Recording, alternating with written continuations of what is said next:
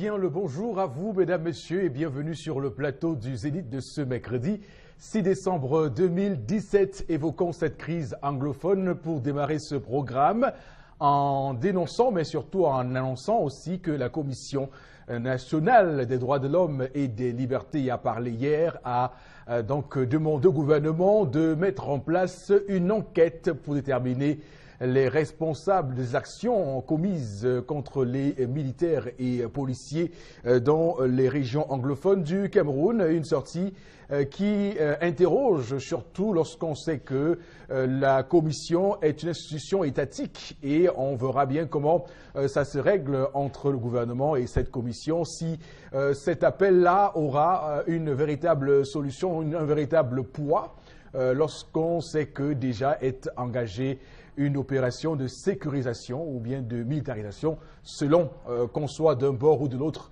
euh, de la sphère politique camerounaise. En tout cas, merci infiniment à vous. On va installer le panel comme chaque matin. On va démarrer et commencer avec Charlamel Mbachou. Bonjour et bienvenue. Bonjour, Eric Fopoussi. Bonjour à tous les maires des communes d'arrondissement de Douala. 1,82 milliard pour l'entretien des routes. C'est bien, mais c'est l'an prochain. Entre-temps, on fait comment? Monsieur le super-maire, on fait comment?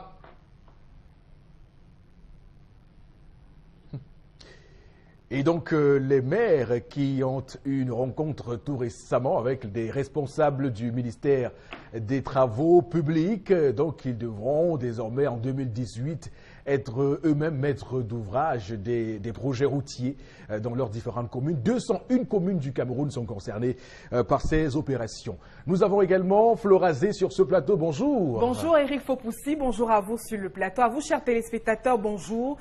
Euh, j'ai le cœur en l'âme, je suis triste depuis hier. Je demande aux plus forts de soutenir les plus faibles. Il y a la petite, je ne vais, pas donner son identité, élève au lycée bilingue de Niala, à la session anglophone qui trouve donc la mort hier euh, sur le chemin de retour euh, de son établissement scolaire. Et justement, elle a donc été heurtée par un camion semi-remorque qui contenait euh, du sable et qui a donc terminé sa, sa, chute vers un véhicule 4x4 et justement qui n'a pas raté cette petite. Donc j'ai une pensée très profonde pour la famille endeuillée et aussi aux parents d'être très attentifs par rapport à l'éducation des enfants. Je vois, je vois des petits enfants justement traverser la route tout seuls. Ils sont âgés entre 5 ans et 8 ans, sans défense sur la route.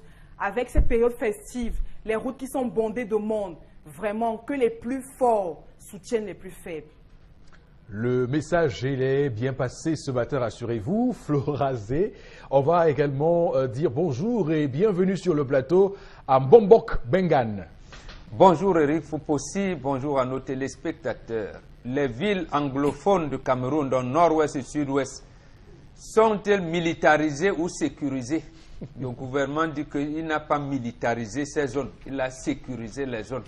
Merci, le gouvernement. Donc, je l'ai suffisamment dit ce matin, Bombok, c'est selon qu'on soit d'un côté ou de l'autre hein, de la sphère politique euh, camerounaise. Donc, on parle de militariser ou de sécuriser. En tout cas, le lexique, le vocabulaire est de sortie pour expliquer ce qui se passe réellement euh, dans les deux régions anglophones du Cameroun et surtout penser au général Elokobi qui a été donc euh, envoyé en mission pour sécuriser ou militariser, ça dépend encore euh, du bord dans lequel on se trouve, ces deux régions, ou bien le sud-ouest du Cameroun et la Magnou, où il est originaire, hein, ce directeur central au secrétariat d'État à la, à gendarmerie qui est donc ainsi lancé dans le, chaudron de la crise anglophone et surtout penser également à un autre monsieur qui a réagi hier et qui a euh, donné un avis quand même qui pourrait être interrogé ce matin.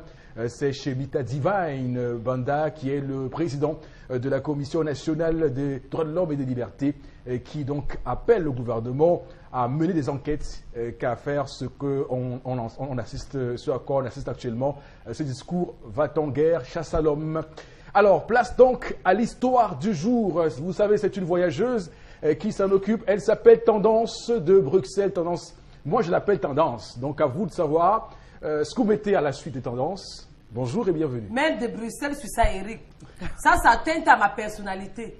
Je parle comme ça pour ne plus revenir. Chers téléspectateurs, Eric, tu vas d'abord mettre de Bruxelles avant qu'elle continue. Bon, si je dis tendance, la bruxelloise. Je valide. D'accord. Chers téléspectateurs, je vous salue. Je salue encore tous ceux qui nous regardent du côté de Nding. Les gens qui nous regardent du côté d'un coin hongrois. Voilà, ça, c'est les, les zones que je ne pouvais pas laisser sans le saluer. Ce matin, quand je venais au travail, il y a une fille qui m'a appelée en pleurant. Elle nous regarde. Elle me dit, parle de moi, pardon, tendance. Pardon, master, parle de moi, c'est grave. J'ai dit, ouais, maman. Elle avait un bébé à main, un bébé de 8 mois. Elle me dit, dis-moi un peu, tata. J'ai dit, comment? Explique-moi clairement. Allons tout droit parce que je suis pressée. Je vais parler de ça. Elle dit, pardon, me voici. J'ai dit chez mes parents. Donc, elle n'a même pas encore 22 ans. Elle me dit qu'elle a 21 ans. Elle a fait un enfant. L'enfant a 6 mois et demi, donc 7 mois. Mais sauf que quand elle a porté la grossesse, le gars même d'abord refusait que c'était son enfant. Et quand elle m'a accouché, le gars dit, je ne reconnais pas que c'est mon enfant. Comme elle vit chez eux, elle a laissé l'école. En accouchant même, d'après ce qu'elle m'a dit, quand en accouchant même, on l'avait opéré, donc elle a accouché par césarienne. Ses parents ont dépensé, maman ne fait rien. Son père aussi ne fait rien de bon parce que sa mère vend les condiments devant la porte, selon ce qu'elle m'a expliqué. Mais depuis ce dernier temps, elle vit le calvaire. Quand maman saute une boîte de riz à la maison, maman dit non, ma chérie, le riz que j'ai sauté, c'est pour tes petits frères, ce n'est plus pour toi. Où tu es là, on t'envoie à l'école, tu es parti porter l'enfant. On te nourrit, on nourrit ton enfant. Même les petites économies qu'on avait, on a dépensé pour ton opération. Alors si, cherche-nous le père de l'enfant, soit tu peux t'installer là-bas, soit tu lui demandes d'apprendre à assumer, à être responsable de ses actes. La fille est dépassée, elle me dit qu'elle est fatiguée de vivre les menaces de ses parents. Le gars de son côté aussi, qui dit que ce n'est pas mon enfant, je n'ai jamais reconnu cet enfant, donc fiche-moi la paix. Elle est venue me voir et me dit, ouais maman, où elle elle voulait aller laisser son enfant à l'orphelinat. Donc, tous ceux qui me regardent, pardon, si vous voulez un enfant de 7 mois et demi, de 6 mois et demi, appelez-moi, je l'appelle pour que vous l'aidez parce que elle m'a laissé son numéro. Ou encore les, les de bonne volonté, quoi. Je ne suis pas regard social, mais vraiment, vous pouvez intervenir pour elle. Elle est là comme ça, la famille l'insulte. Elle dit que son père, que quand sa mère veut l'insulter, ah, ah, ah, on dirait que c'est elle, qui- l'avait accouché, on dit non. Sa mère dit, hein, regarde-moi ça. Je me suis mise quoi et un pour t'envoyer à l'école. Tu es revenu avec un enfant bâtard. Hein, un enfant que tu es parti faire, un enfant père inconnu. Pardon, va me chercher le père de l'enfant. Pendant que celui-là dit qu'elle veut faire comment pour les autres enfants, ce n'est que toi qui regardes. Donc elle se sent frustrée, stressée. Elle me dit même qu'elle est traumatisée. Qu'il y a des moments où elle ne dort pas. Et qu'elle a une chose dans la tête, qu'elle va aller laisser les- son enfant à l'orphelinat. Et à vous la parole. Voilà, merci Tendance pour cette histoire. Que cherchent les jeunes filles dehors? Euh, Qu'est-ce qu'elles font et qu'est-ce qui les anime? Qu'est-ce qui euh, motive leur sortie nocturne? Et qu'est-ce qui motive leur passion pour le sexe, le sexe désordonné, le sexe qui donne ensuite euh, lieu à des grossesses non désirées, des grossesses qui euh, donnent également lieu à des enfants qui, au final, ne sont pas entretenus comme il faut. On va euh, premièrement passer la parole à Florazé pour lui demander, mais qu'est-ce qui arrive aux jeunes filles aujourd'hui? Pourquoi on, on ne trouve plus de femmes, de filles euh, de moins de 22 ans qui, euh, qui, qui n'est pas encore d'enfant Euh, ça, devient une constante et ça interroge aussi euh, pourquoi euh, ça devient aussi recrudescent? Ces filles qui ne sont pas mariées et qui ont des grossesses. Oui, pour la plupart également qui vivent dans un, environnement des plus pl- précaires. Ça, ce sont ces jeunes filles qui sont harcelées même par les parents. Et qu'on trouve qu'à 20 ans, qu'est-ce que tu fous là? Pourquoi tu n'es pas encore mariée? Etc. Qui vivent une pression énorme. Elles ne vous le disent pas, mais elles vivent une pression énorme. Souvent, vous êtes l'aîné, hein, vous avez cinq petits frères qui sont là, tous les yeux sont sur vous, la famille, la maman ne vous laisse pas, papa ne vous laisse pas, et le plus souvent, quand ils sont en retraite encore, c'est la totale. Alors la jeune fille, bon, je ne justifie pas, se jette maintenant à l'extérieur pour joindre les deux bouts, à la fois son école, où justement peut-être elle ne s'en sort pas, à la fois maintenant avoir de quoi subvenir à ses propres besoins de jeune fille, parce que les parents ne sont plus là et ont dénoncé. Maintenant, à la fois prendre soin même de sa, la maison de ses parents et de ses petits frères. C'est lourd pour une fille de 20 ans. Alors maintenant, je dis qu'il y a des, relations, vous n'avez pas à dire ici, quand on est ado, on passe une, période de puberté, etc., on peut avoir des faux pas. Les parents doivent être là pour encadrer les enfants. Alors je trouve que, oui, elle a, elle a, je veux dire, elle est tombée, elle a chuté, mais est-ce que c'est une raison pour les parents d'enfoncer encore la jeune fille? Elle a fait un beau petit bébé qui a 8 mois aujourd'hui. Il n'y a pas assez de moyens. Est-ce que la solution, c'est de peut-être jeter cet enfant en pâture? Est-ce que, non? Il faut que les parents continuent d'encadrer. Tant que vous vivez, tant que vous êtes parents et que vous vivez et que vous avez des enfants sous votre responsabilité, jusqu'à ce que la mort vous enlève cette terre, vous avez l'obligation d'encadrer les enfants. Mais malheureusement, aujourd'hui, allez dans les familles, les jeunes filles sont vendues. C'est-à-dire, et il faut faire très attention, les, simples paroles, justement, amènent les filles à la déroute. Parce que les parents sont là, justement, à pousser ces filles à bout. Voilà, justement, pour répondre à, la question de, à votre question, il faut pousser. Voilà pourquoi les jeunes filles, justement, se retrouvent souvent dans la mauvaise, dans une impasse qu'elles n'arrivent plus, justement, à, à, récupérer bien après. Et donc, ça reste un vrai problème de société. Et on se le dit ce matin parce que c'est devenu insupportable et inadmissible hein, de voir comment ces filles se livrent à des pratiques sexuelles euh, souvent hors du commun et souvent pas très orthodoxes, pour ne pas dire catholiques. Mais Chalamel, euh, j'aimerais euh, vous interroger sur le choix de ces jeunes filles qui souvent jouent les naïves et après se retrouvent bloquées dos au mur et n'arrivent pas justement à se tenir. Alors moi, je ne pourrais pas parler de naïveté, non. Hmm. Je ne parlerai pas de naïveté, je parlerai de confiance elles font confiance. Elles font peut-être même plus confiance qu'on ne le pense. Ça, il faut le préciser. Mais qu'est-ce qu'elles ont de l'autre côté en termes de retour? C'est la question qu'il faut se poser. Je prends le problème tel que raconté par tendance. Je pense que lorsqu'on frappe un enfant, lorsqu'on porte la main sur un enfant, c'est pour lui dire rentre et non sort. L'attitude de la famille dénote de ceci qu'à un moment donné, ils ont été coupés de certaines réalités et ils ont été rattrapés plutôt par la, euh, ils ont été rattrapés au bout hmm. par la, la triste réalité, la triste réalité qui a été celle de l'enfant. Va-t-on jeter un enfant? Va-t-on ou doit-on jeter un enfant? Les faits sont déjà là. L'enfant est là. L'enfant est là. Je pense que du moment même que la fille a conçu et que les parents ont été au courant, c'était l'occasion pour les parents de dire à la jeune fille, fais-nous venir le gars, à moins que la fille était une touche à tout et qu'elle ne connaissait pas, elle, ne parvient pas à connaître qui est le véritable père de l'enfant à ce jour. Mais si elle a pointé du doigt en disant c'est telle personne, je pense qu'il y a une certaine traçabilité. Il y a des parents, il y a des frères, il y a des cousins. Elle ne se contente pas, elle ne s'est pas contentée que de connaître le gars. Il y a la famille du gars. Donc il y a des méthodes, il y a des procédures qui peuvent être enclenchées pour pousser l'individu en question, en fait, l'irresponsable en question, à prendre ses responsabilités en main. Donc je me dis à ce niveau que la famille est en train de baisser les bras. Il serait plutôt temps pour la famille de prendre ses responsabilités afin d'amener celui-là à pouvoir s'inscrire dans la logique de s'occuper de son enfant. Euh, d'accord, on, comprend bien, euh, Chalamel, euh, où vous pointez le curseur de votre pensée ce matin, mais Bobok Bengan, c'est clair qu'on ne va pas encourager sur ce plateau ce matin les jeunes filles à aller faire des enfants des bâtards et espérer que leur famille puisse s'en occuper. Hmm, non, on ne peut pas, on ne peut pas le faire, mais j'allais dire, Flora a commencé à développer ça tout à l'heure comment on gère la puberté? Je pense que pour toutes les filles, elles savent que leur maman les faisait les observations à chaque fois Mais pour des filles têtues, elles estimaient que comme sa maman, c'est une femme d'une certaine époque, comme sa maman, elle est issue d'une famille pauvre, elle ne comprend rien à rien encore, elle n'est pas allée à l'école, elle va montrer à sa maman qu'elle elle connaît. Mm. Elle connaît la vie. Et malheureusement, c'est elle qui va assumer les conséquences, surtout fâcheuses, de ce qui lui arrive. C'est en fait, c'est ça comme ça que moi je comprends l'attitude de sa maman. C'est-à-dire, c'est une maman qui est déçue.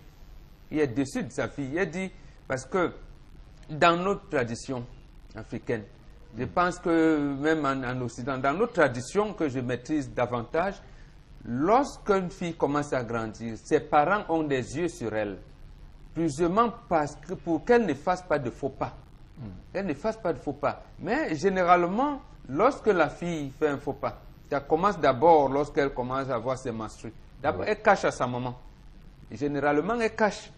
Mais lorsque sa maman commence à dire Pourquoi tu es rentré tard? Qui, qui t'a rendu visite là? Quand tu venais, on t'a dit Non, maman, toi aussi, tu, t'es- tu- tu penses que je, je, je ne me contrôle pas. Tu penses que. Voilà.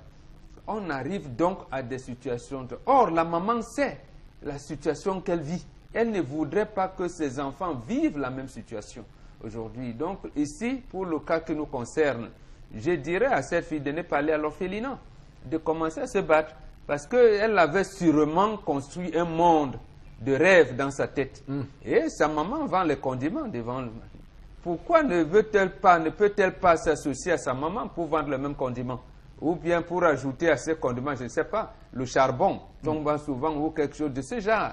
Mais qu'elle n'envoie pas l'enfant à l'orphelinat. En, parce que, en fait, qu'est-ce qui fait que le garçon soit aussi, j'allais dire, indigne? Bon, sûrement, il y a, il y a eu aussi des, des- des garçons qui fuient leurs responsabilités. Mais est-ce qu'on ne sait pas les, les reproches qu'il faisait à, cette, à sa copine? Peut-être que le garçon était en rivalité permanente avec les autres garçons. Il s'est dit, on a peut-être été ensemble, mais cet enfant, je le renie. Donc voilà, c'est pour revenir à une situation où on dit aux filles surtout, écoutez vos mamans, écoutez vos mamans, comme ça, ça nous évite des désagréments. Mhm. On aura l'occasion tout à l'heure de revenir hein, sur euh, la solution qu'on peut prendre pour sortir cette euh, fille de son impasse euh, actuellement. Mais euh, j'aimerais qu'on reste dans le cadre des causes, de ce qui peut amener euh, ce type de situation, parce que c'est clair que c'est un vrai sujet sur lequel on a l'obligation, même le devoir de conscientiser les jeunes enfants qui nous écoutent ce matin de leur poste téléviseur pour dire quoi? Pour dire que tendance, est-ce que, est que cette jeune fille, parce qu'il faut qu'on comprenne, a eu une relation normale. Est-ce qu'elle a, est qu'elle a été dans une relation normale avec ce, avec, avec ce monsieur à qui elle attribue la paternité de, de son, de son enfant? Relation normale, c'est-à-dire? C'est-à-dire, ben, ils étaient connus, ils, wattisé, ils- ils- ils se- fréquentaient. Est-ce qu'ils s'étaient connus de la famille? Est-ce que parce que, parce que quand, quand on décide de faire un enfant avec une fille, je suppose quand même qu'il y a des préalables, euh, des préalables. Non, à cet Parfois- âge-là, je ne pense pas. Je- sinon, la maman n'aurait pas demandé. Parfois, quand on a 19 à 20 ans, quand on a son petit ami, on cache, on a peur. Les enfants d'aujourd'hui vont tout nous montrer. À 20 ans? Oui. Quand j'avais 20 ans, je ne savais même pas si c'était fille. On me disait, tu es fille ou tu, es ga- tu es garçon, je disais seulement que je suis un homme. Parce que je ne distinguais pas mon sexe. À nos jours-ci, les films, Facebook a tout traumatisé les enfants. Oui. Parce qu'à l'heure-ci, je dire encore tous les. Parce que ton âge là, tu as l'âge de mon deuxième enfant. Ma, ma chère fille. Je t'ai même dit en bas tout à l'heure. Non, tu as bien fait. Je ne te juge pas, comme tu dis que tu fallait laisser l'enfant à l'orphelinat, mais ça dépend. Au lieu de faire des avortements, ou encore au lieu d'aller jeter les enfants dans la rue, comme on trouve souvent les enfants, c'est aussi mieux d'aller laisser l'enfant à l'orphelinat. Mais pour le moment, je dis encore non, parce que les parents vivent encore. De deux, je sais que ton gars, le père de ton enfant, me regarde. On les appelle les hommes diables.com. Quand à nos jours, s'il y a les préservatifs, ça ne coûte pas cher. Quand tu te couches avec, au lit avec une fille sans préso, tu t'attends à quoi? Que demain, elle vienne, qu'elle vienne te dire que bébé, tu es très beau, j'ai aimé ce qu'on a fait. Attends aussi que demain, qu'elle vienne te dire que bébé, comme tu vois là, je n'ai pas vu le mandra. Bébé, comme tu vois là, j'ai eu un retard. Et apprenez à assumer vos responsabilités. Les parents aussi ne doivent pas rejeter l'enfant comme ça parce que quand l'enfant naît, ce n'est même plus votre enfant, c'est l'enfant de tout le monde. La boîte de riz que maman saute à la maison, tout le monde peut manger. Ma chérie, ce que je vais te dire, je prends sur moi. Je vais te donner un fonds de commerce de 5 000 francs. Oui. Les 5 000 francs là, tu vas descendre au marché Sandaga. Parce que on vous connaît, vous les jeunes filles. Je vais te donner 5 000 francs là, tu vas dire qui une belle fille comme moi, allez vendre les tomates. Tu vas vendre ça coûte que coûte. Tu descends au marché Sandaga. Tu achètes un cajot de tomates. Tu descends au marché nous des dos, tu mets 4 tomates à 200 francs, ça dépend combien tu vas prendre le cajot. Ainsi de suite, tu vas garder tes petites économies et faire manger à l'enfant. Ce n'est pas que tu vas venir, que tu vas laisser l'enfant à l'orphelinat quand les parents vivent. Non. Les chers parents ne frustrons plus nos enfants. Parfois, si une jeune fille aller mettre la corde au cou, c'est à cause des paroles. Et la bouche qui parle trop détruit. Même si mon enfant a. Je ne peux même pas dire. Si mon enfant a 20, 20 ans, même si elle a 19 ans, c'est bien médical enceinte, vraiment elle va accoucher. Et quand elle va coucher là, même si c'est quoi qu'elle tripote à la maison, tout le monde va manger. Oui. Tout le monde va manger. Et la femme ne se lève pas le matin pour dire que je suis enceinte de telle personne. C'est chaque femme qui connaît le père de son enfant. Que le gars nous arrête ça. Un autre gars va refuser parce que non, je ne l'aimais pas, je ne l'ai pas aimé. Alors que dans son cœur, il sait que c'est son enfant. Pourquoi? Très bien, très bien. On va surtout dire ce matin que euh, Tendance insiste que c'est que c'est une jeune fille, Oui. une enfant, et elle nous dit en même temps que Elle est naïve. elle est naïve. à, à son âge, Donc- je ne sais pas si c'était femme ou garçon. Hein. Ok. On me disait que, que tu es fille ou tu es garçon. Je disais seulement que je suis un garçon. Oui. Ok, Chalamel, euh, un Je dernier pense mot que- sur je le pense sujet. que c'est c'est l'occasion d'interpeller ici les hommes de loi, d'interpeller les hommes de loi et d'interpeller que ce soit les commissaires de police, les magistrats, d'interpeller en disant ça ne sert à rien de s'engager, de- d'avoir une fille. Il n'y a pas que la fille qui est coupable dans cette affaire. Le garçon est coupable. Et on ne peut pas enceinte l'enfant d'autrui, enceinte l'enfant d'autrui et ne pas s'occuper de son enfant. Très bien. Ne pas apporter au moins, je dis au moins les 50%, les 50% de cela, c'est irresponsable. Très bien. Si le gars est mineur, les parents du gars prennent la charge complète. Si le gars, vit, les parents ne vivent plus, le tuteur a la responsabilité d'assurer. L'enfant n'a pas demandé à naître. L'enfant n'a pas demandé à naître. L'enfant est déjà là. C'est une responsabilité dont il faudrait prendre charge. Et donc cela n'incombe pas seulement à la fille. Ça incombe aux deux. Dès l'instant que vous décidez d'aller nu, n'ayez plus peur. N'ayez pas peur, ne soyez pas surpris de faire un enfant ou des conséquences qui vont arriver. Donc je pense à ce niveau que aujourd'hui de nombreuses filles souffrent. Et c'est vrai. De nombreuses filles souffrent dans les quartiers du fait que les hommes ne s'occupent pas, ceux qui ont fait des enfants, ne s'occupent pas des enfants, des, des- des- des filles et des enfants. Parce qu'il ne faut pas seulement s'occuper de l'enfant, il faut s'oc- s'occuper de la mère. Parce que la mère a besoin d'avoir des forces pour s'occuper de l'enfant. Il faut s'occuper. Et je crois qu'il y a des méthodes prévues pour contraindre ce type d'individus à s'occuper de, de- de- de leurs enfants. Je crois qu'il faut revenir sur la responsabilité des parents. Il, y a ces- il y a également, moi je dis souvent qu'il y a des parents qui n'ont pas assez de repères sur la vie sexuelle, qui n'en parlent pratiquement pas. Aujourd'hui, oui, on est bousculé à, à, à subvenir aux besoins de la famille, à s'acquitter de certaines tâches. Alors, vous allez voir dans certaines familles où on a du mal justement à appeler certaines choses par leur nom, et notamment le domaine sexuel. On n'en parle pas. Voilà pourquoi les jeunes filles préfèrent s'éduquer elles-mêmes. C'est-à-dire qu'en fait, elles n'ont pas le choix. Elles s'éduquent elles-mêmes dans la rue, à travers les médias, etc., sur les réseaux Je sociaux. ne suis pas d'accord. Parce que, je dis bien parce que, vous allez voir ces parents qui sont d'une certaine, je vais revenir, qui sont par exemple d'une certaine époque, qui alors ont honte d'évoquer un certain nombre de choses, n'en pas parlent pas. Et je reviens pour dire que pour tout être humain, la période d'adolescence est toujours une période très trouble. C'est une période où il ne faut pas bousculer l'enfant. Et c'est une période où le parent doit être là pour encadrer l'enfant. Mais malheureusement, aller dans les familles, ils ne sont pas là pour parler, éduquer, parler sexe. Je dis bien sexe avec les enfants. Même quand, par exemple, la, la- la fille est en période. Combien de mamans vont verser? Elles ne sont pas nombreuses. Eric Fopoussi. C'est pourquoi je dénote la responsabilité Eric Fopoussi. des parents. Faut aussi, c'est ça. Oui, qui est C'est ça. Non, non, ouais, Flora. C'est sur les parents. c'est ça. Oui. Parce que les parents ne Voilà, sont pas là. voilà ce qui tue les jeunes filles d'aujourd'hui. Parce que les parents On a tout, là. on a tout ici. Et les groupes WhatsApp sexe, et les groupes Messenger sexe, et les groupes si. Téléchargement facile dans les sites pornographiques, on a tout. La jeune fille n'attend plus les causeries des parents. La jeune fille n'attend plus les causeries des parents 50 pour être... Non, je dis, la jeune fille d'aujourd'hui n'attend plus les parents pour s'émanciper.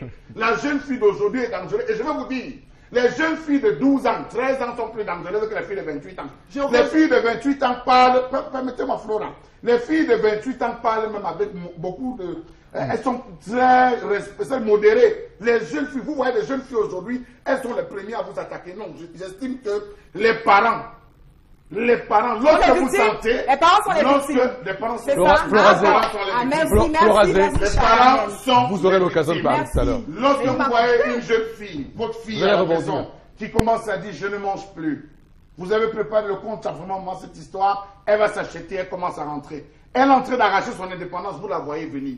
Vous voyez venir. Demain, elle revient avec un téléphone, iPhone 6. Ça sort d'où on m'a offert. Que fait Qui t'a offert? À 22h, vous êtes couché en train de zapper la télé. Vous êtes couché là sur WhatsApp. C'est elle qui vient vous installer les applications. C'est elle qui est en train de vous montrer comment le téléphone doit marcher. C'est elle qui est en train de vous dire comment vous allez faire les vidéos. Non, j'estime qu'à un certain moment, les parents aujourd'hui, on a trop laissé le ministère des, des Affaires sociales, la promotion de la femme et de la famille, on laissé, on est surpris par les nouvelles technologies. La jeune fille s'est rapidement émancipée. Très bien, Mais- merci mais Chalamel. Les institutions Oui, que vous venez de vous citer ne vont rebondissez. pas venir prendre la place des parents dans les familles. Les réseaux sociaux, téléphones et médias, non pas que du mauvais, euh, et, et faut pousser Chalamel, mais non, les parents doivent guider les enfants. Combien de parents le font? Ils ne sont pas nombreux. Hmm. Maintenant, à l'absence des parents, la jeune fille est obligée justement de recourir aux réseaux sociaux. Alors, etc. moi, j'ai une question pour que- Non, Chalamel. non, Non, j'ai une question je vais- pour. Vous pensez pas que la jeune fille il n'y a pas que du mauvais, oui. Eric Fopoussi. Et Oui. je l'ai dit, nous vivons dans un environnement très précaire où nous avons encore pas mal de revendications à faire et où les parents se disent Ok, il faut bien que je paie l'électricité, que je m'acquitte de mon loyer et tout. Et ils ont laissé l'essentiel, c'est-à-dire l'éducation des parents. vous pensez et que- notamment ne pas le plus sexe aux enfants Flora Zé, dans nos familles. vous pensez que la jeune fille qui va avec un garçon va expressément chercher l'enfant? Elle va s'amuser. Ok, merci. Mais regarde, Eric, j'ai non, non, tendance, non. Il on- faut dire aux enfants que te Tendance, sur le tendance, tendance, attention. D'accord. Ok, on va prendre quelques messages euh, pour sortir de ce sujet ce matin. Alors, euh, bonjour, bonjour à vous. C'est euh, euh, c'est la mauvaise, c'est le mauvais encadrement, pardon, des parents qui envoient les enfants euh, à l'école sans argent de poche, ni le dialogue qui encourage cette dérive. Voilà donc les mauvais. Non, là, c'est pas, c'est pas, c'est pas sérieux de dire ça. que je lis. Prenez bien l'histoire. Nous sommes dans un contexte, que ce soit vous les téléspectateurs. Nous avons une famille pauvre. Regardez l'attitude de la maman. J'ai tout fait, j'étais envoyé à l'école. Ça veut dire que c'est une maman qui compte sur sa fille qui, voilà, qui lui dit attention, tu es en train de devenir une femme. Toutes les mamans le disent. Toutes les mamans le disent, à moins qu'elles soient mortes. D'accord. Toutes les mamans le disent. un- Donc, Ça fait, veut dire qu'il y a une Florazé, base qui a été Florazé, faussée, la base qui est faussée, c'est précisément. Florazé, votre, votre. WhatsApp. Je vous en C'est prie. ça. remplace justement Parce que. Oh là là Mais messages, je vous en quoi prie. quand, quand votre papa vous dit, votre maman vous dit ne faites pas ça, Bon, vous, bon, vous pensez que on a, vous on a compris. Merci infiniment les messages. Voilà. Moi, je pense qu'il ne faut pas avoir pitié des euh, jeunes filles. Euh, j'ai été victime car ma propre euh, petite amie que j'ai eue m'a tout montré. Hum, Elle est tombée enceinte d'un autre. Ça, c'est une histoire. Notre message. Euh, oui, ce sont les enfants têtus, euh, issus de la pauvreté. La pauvreté n'y est pour rien, c'est la mentalité euh, de nos sœurs. D'accord. Déborah qui s'exprime. Non, je ne suis pas d'accord. Merci. Vous, vous- vous êtes en train de libérer. Le, Oh le garçon est un danger. Non. Le garçon en lui-même est un danger. Le garçon qui vient vers la jeune fille est un danger. Merci Chalamel. Alors, euh, Tendance, tu vas livrer le dernier mot. Oui, moi je voulais dire aux parents que parfois on a même honte de parler sexe à nos enfants. L'enfant même en train de voir le mandra, l'enfant est en train de saigner, l'enfant dit maman c'est quoi ça? La mère n'a même pas le temps de dire que bébé quand tu vois ça, ça veut dire que tu- si tu travailles sur les urines d'un homme tu peux concevoir. Non, la maman a honte. Les Elle- mamans disent ça. non, il y a certaines, non, il y a encore certaines mamans qui ne peuvent pas parler. Lesquelles Aujourd'hui, les mamans d'aujourd'hui Tu ne ont connais pas nous les femmes, non, hein. non. certaines femmes. Nous sommes, nous en poser- 2017. Elles n'en Les femmes qui pas. sont encore a- en- à l'âge de procréer ont 40 ans et moins. Bon, bon. Vous allez me dire que les femmes de 40 ans et moins ont encore bon, honte de dire à leurs filles Non, mais soyons sérieux quand même. Une petite fille qui occupées à autre j'ai vu une vidéo dernièrement une petite fille qui disait que ma mère est partie fumer le mbanga. Ma mère était en prison en Banga. Tu crois que si un enfant a ça dans la tête, l'éducation de l'enfant va être comment? Oui, ne prenez pas un cas marginal comme, comme une non, règle non, Il y a générale. certaines femmes qui n'ont pas le temps de poser du sexe avec leurs enfants. Ok, ça, c'est- vrai. Merci. Ils ne peuvent pas dire Merci. aux enfants que c'est comme ça qu'on Merci infiniment à vous sur ce plateau. Je suis très heureux que vous soyez entendus au, final sur ce sujet. On va euh, rapidement euh, prendre la suite de cette émission, mesdames, messieurs, pour aller euh, retrouver la colère de Charles Hamel de ce mercredi 6 décembre 2017.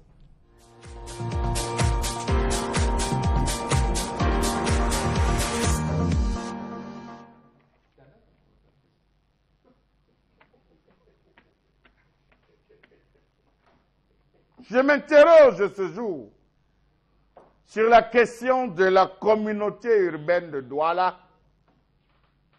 Qu'est-ce qui ne va pas à la communauté urbaine de Douala? Point d'interrogation. guerre, guerre intestine, mouchardage, intrigue. Pourquoi tout semble être au ralenti?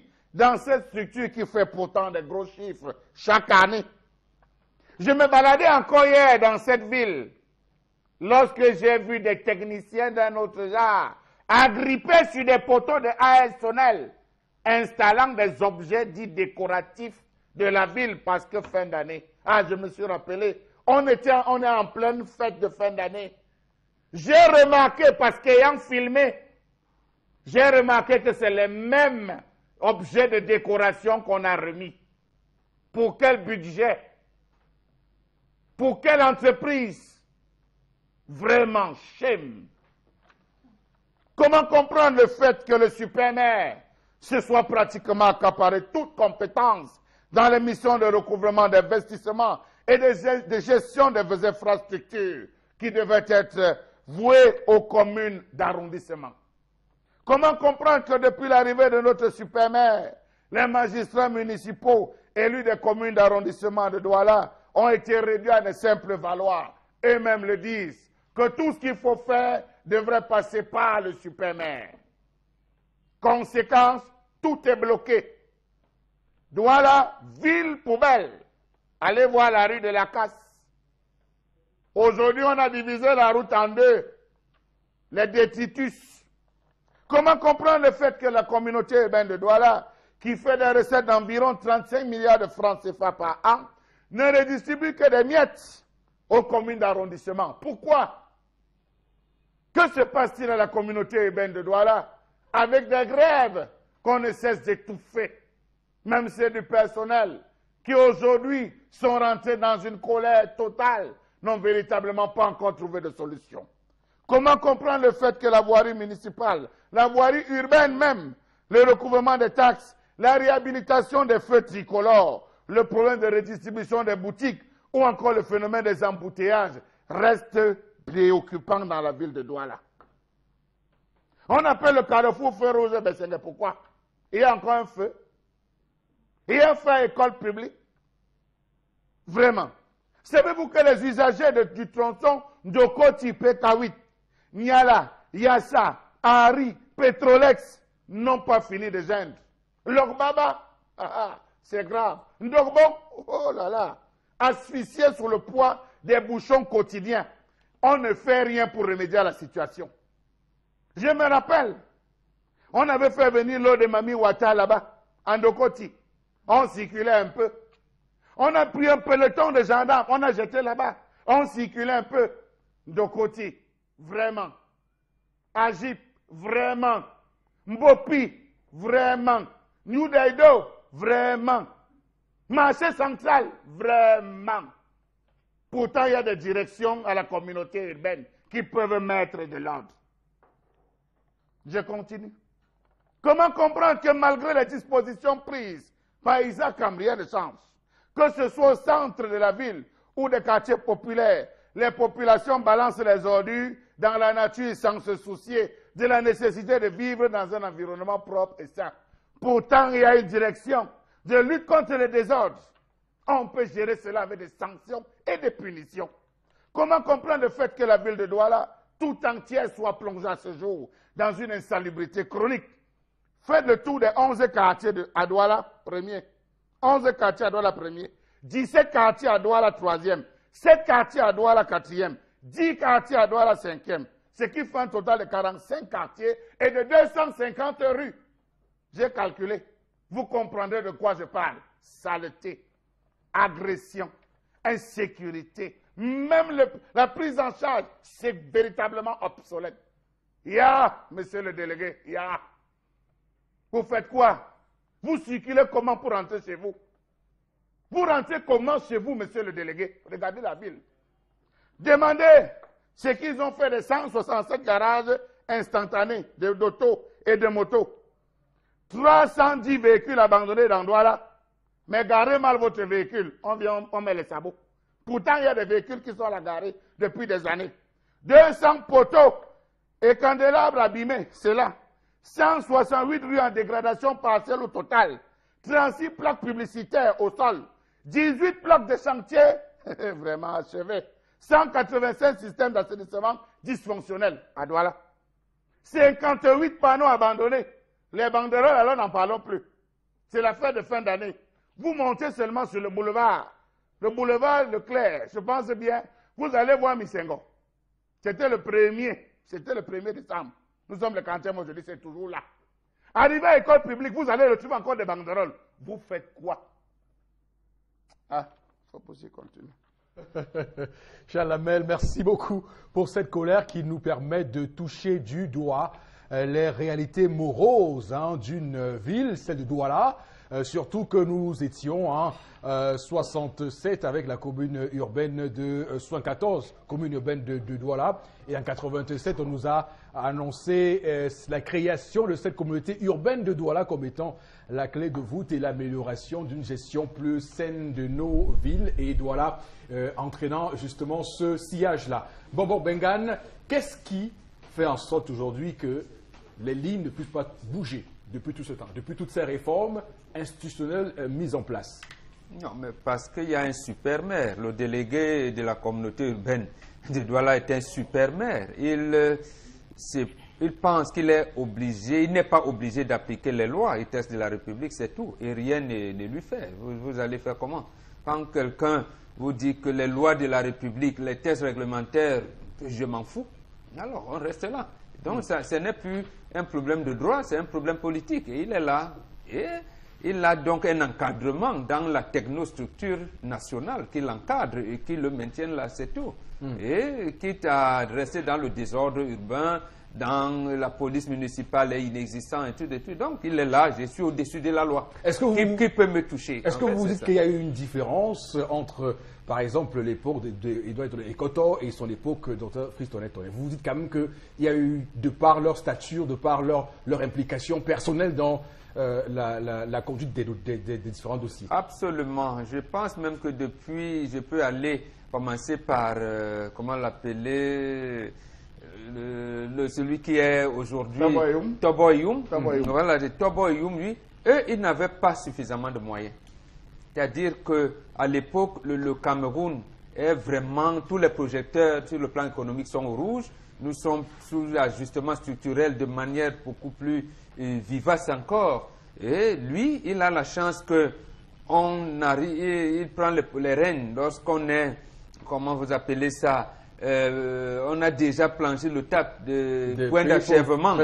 Voilà, on est déjà au niveau du point d'achèvement. A dit PPT. Donc, les ressources financières notamment arrivent. C'est la même chose avec celui de Yaoundé, son confrère de Yaoundé, qui lui, il se déploie. C'est-à-dire, il faut dire une chose, c'est que les communautés urbaines ont les mêmes institutions que le gouvernement pour l'appel de fonds, notamment, et l'accompagnement des projets. Mais celui-ci, Commençons d'abord par le licenciement et les délégués du personnel. Hmm. La loi recommande que pour licencier un délégué du personnel, il faut requérir l'avis du ministère du Travail. on lui a dit non, vous ne pouvez pas. Il a dit je m'en fous de vous, monsieur le ministre, je les licencie. Et il les a licenciés. Hmm. Donc, c'est pour ça que quand vous avez donc votre, j'allais dire, celui qui est le garant de, du travail au Cameroun, vous lui dites que je m'en fous de vous et de, de, vos textes. Bon, ça veut dire qu'il y a plus grand que le ministre qui protège celui-là. Mm. Et vous ne faites rien. Vous allez faire comment? Noël arrive. Est-ce que le financement et le, dispositif mis en place pour les guirlandes en, en décembre 2016 était gardé ou bien chaque année c'est un nouveau marché C'est la question qu'on s'interroge, puisque l'avis de certains euh, de ses collaborateurs nous disent que, en fait, on avait enlevé certaines plaques, on les replace, mais on fait comme si c'était un nouveau marché. Tout à fait. voilà, voilà la situation. Donc, en hmm. fait, on, dans chaque programmation, c'est un nouveau marché. Et on ne va rien lui faire. Et aux mêmes entreprises, aux mêmes structures. Je pense que c'est si fort qui avait gagné la dernière fois de Douala Yaoundé. Hmm. Donc quand vous dites, et, ça, ça on, a, on a bien l'impression dans vos déclarations, dans le sentiment qu'il euh, y a de l'argent, et d'ailleurs quand on regarde l'assiette des recettes euh, de la communauté urbaine de, de Douala. On parle euh, des centimes additionnels communaux, des chiffres sont euh, à, à faire euh, pâlir. On a également euh, les, les recettes fiscales, euh, les, les- les produits d'exploitation des domaines et des ressources. Alors, on sent bien qu'il y a des poches d'argent, de revenus, il y a vraiment de l'argent. Florazé, où va l'argent pour qu'on se retrouve euh, au final ce, matin à, faire l'inventaire de tous ces problèmes, de tous ces projets euh, qui sont soit mal ficelés, mal menés, mais qui ne sont pas au, final euh, bien amenés. C'est la question qu'on se pose, c'est la question que tous les Camerounais, tous les habitants même de la ville de Douala, et toutes les opérations relatives à l'assainissement, au programme de la communauté urbaine qui ont été entrepris, où sont-ils? C'est-à-dire les opérations, finalement, de façon pratique, ne sont pas palpables. Alors, en 2016, justement, on avait voté un budget très alléchant, 57 milliards de francs CFA. On a investissement pour la ville de Douala avec 256 projets. Il y a tout un aménagement sur le plan euh, structural de la ville de Douala, sur les papiers de façon théorique, qui est installé. On a même dit au sein de la communauté urbaine euh, qu'il y avait une, réforme de décentralisation pour permettre justement à, chaque responsable, notamment avec un budget bien approprié, d'aller sur le terrain et justement de montrer ou alors de faciliter euh, euh, l'objectivité qui était mise en place justement pour l'embellissement de la ville de Douala. Aujourd'hui, de façon très pratique, comme Chalamel l'a dénombré dans- dans sa chronique, Douala vit dans la poubelle. Douala vit dans la poubelle. Allez, visiter la ville de Douala, elle n'est plus attrayante. Comme il y a, quoi, 15 ans, excusez-moi, peut-être qu'on va, on, va euh, peut-être dénombrer ou alors euh, notifier le nombre d'habitants, démo- euh, le, système démographique, on est de plus en plus nombreux dans la ville, l'incivisme, etc. Mais alors, oui, il y a ce problème aussi. Mais que fait justement les pouvoirs, je vais dire la, la communauté urbaine, pour réguler alors, nos agents, sur le plan pratique et, vital même, sont comme des charognards dans la rue pour agresser, etc. Donc, on voit plus les agressions de ces personnes que le travail qui doit être établi. Nous souffrons justement que sur le plan des routes, le plan d'aménagement des marchés et autres, les Camerounais souffrent à ce niveau. Oui, vous pouvez implémenter une discipline, des principes très stricts. Mais aussi, il faut que le travail suive. Il faut bien qu'on vive justement bien. cet assainissement de Très façon bien. très pratique. Très bien. Alors, euh, tendance, on a le sentiment quand même qu'il y a des projets qui sont mis en place, des projets quand même qui, nous sont, euh, qui sont vantés de, de manière euh, euh, très publicitaire, à grand renfort de publicité. Est-ce qu'on peut se dire ce matin sur ce plateau de Equinox Télévision, dans le Zénith, euh, que euh, Fristonet Tonnet, qui est le délégué du gouvernement auprès de la communauté urbaine de, de Douala, euh, a failli, A failli comment? A échoué Ah, parce que tu as parlé en gros français là, je n'ai rien compris. Vraiment, eh, moi-même, oui, il a failli. Ah, souvent, je supporte, mais le tout, c'est quand c'est trop, c'est laid. Après, on va dire qu'Equinox bavarde trop. Donc, c'est Equinox qui a la- laissé les ordures là-bas à la gare de Deben depuis 2016 qu'il parle de ça. Descends à la gare de Deben Bonbon. J'ai dit qu'il y a un bac à ordures là-bas. Ça même- Il y a même un trou où c'est seulement la tombe de. Donc, un trou, Flora, ça fait seulement. Pendant ceci à la casse aussi. Non, on commande d'abord par la gare de Deben. Donc, ça, ça fait ça. S'est affaissé et chacun vient verser les ordures là-bas. Je me demande si c'est la communauté urbaine qui doit s'occuper ou c'est Isakam. Parce que pour finir, même, je m'embrouille. C'est la communauté urbaine La qui a communauté Ah, donc c'est la communauté urbaine qui est le grand frère de Isakam. Oui, oui. Donc il donne les ordres, quoi. Mhm. Papa, commu- communauté urbaine, il faut donner la les ordres pour qu'on nous nettoie la ville de Douala. Il y a des, les gars même qui ont commencé à faire challenge poubelle. Les gars se filmaient pour mettre les réseaux- sur les réseaux sociaux. Ça n'a rien fait à personne. Pardon. On a eu assez de problèmes dans notre pays comme ça. Même rien que la propriété. C'est pour ça que tu vas voir les gens tous les jours malades. Tu arrives à l'hôpital, on te dit tuberculose chronique, typhoïde crâniale. C'est les docteurs qui savent de quoi je parle. Les ceci, les cela, papa, pardon. On- oui, on ne parvient pas à manger. Ça passe, leçon. Mais les ordures, au marché central, c'est le terminator. Au Grand Moulin, c'est le terminator. Partout où on vide les ordures. Mais C'est l'image du Cameroun. Quand c'est comme ça, les, les étrangers se moquent de nous. Les petits pays qui sont en Afrique nous dépassent. À nos jours-ci, là, non, au 21e siècle, siècle c'est ça, non, bon, bon. Mhm. Au 21e siècle, on ne devrait plus vivre ça. Ça, c'est un pays qui doit. Très bien. Quand tu arrives au Cameroun comme ça, tu te filmes même, tu dis qu'on est ici au Cameroun et que tu mets sur les réseaux sociaux qu'on soit fier. Alors, Pas qu'on va te dire Cameroun, le pays poubelle. Très Non? bien, tendance Kenyé.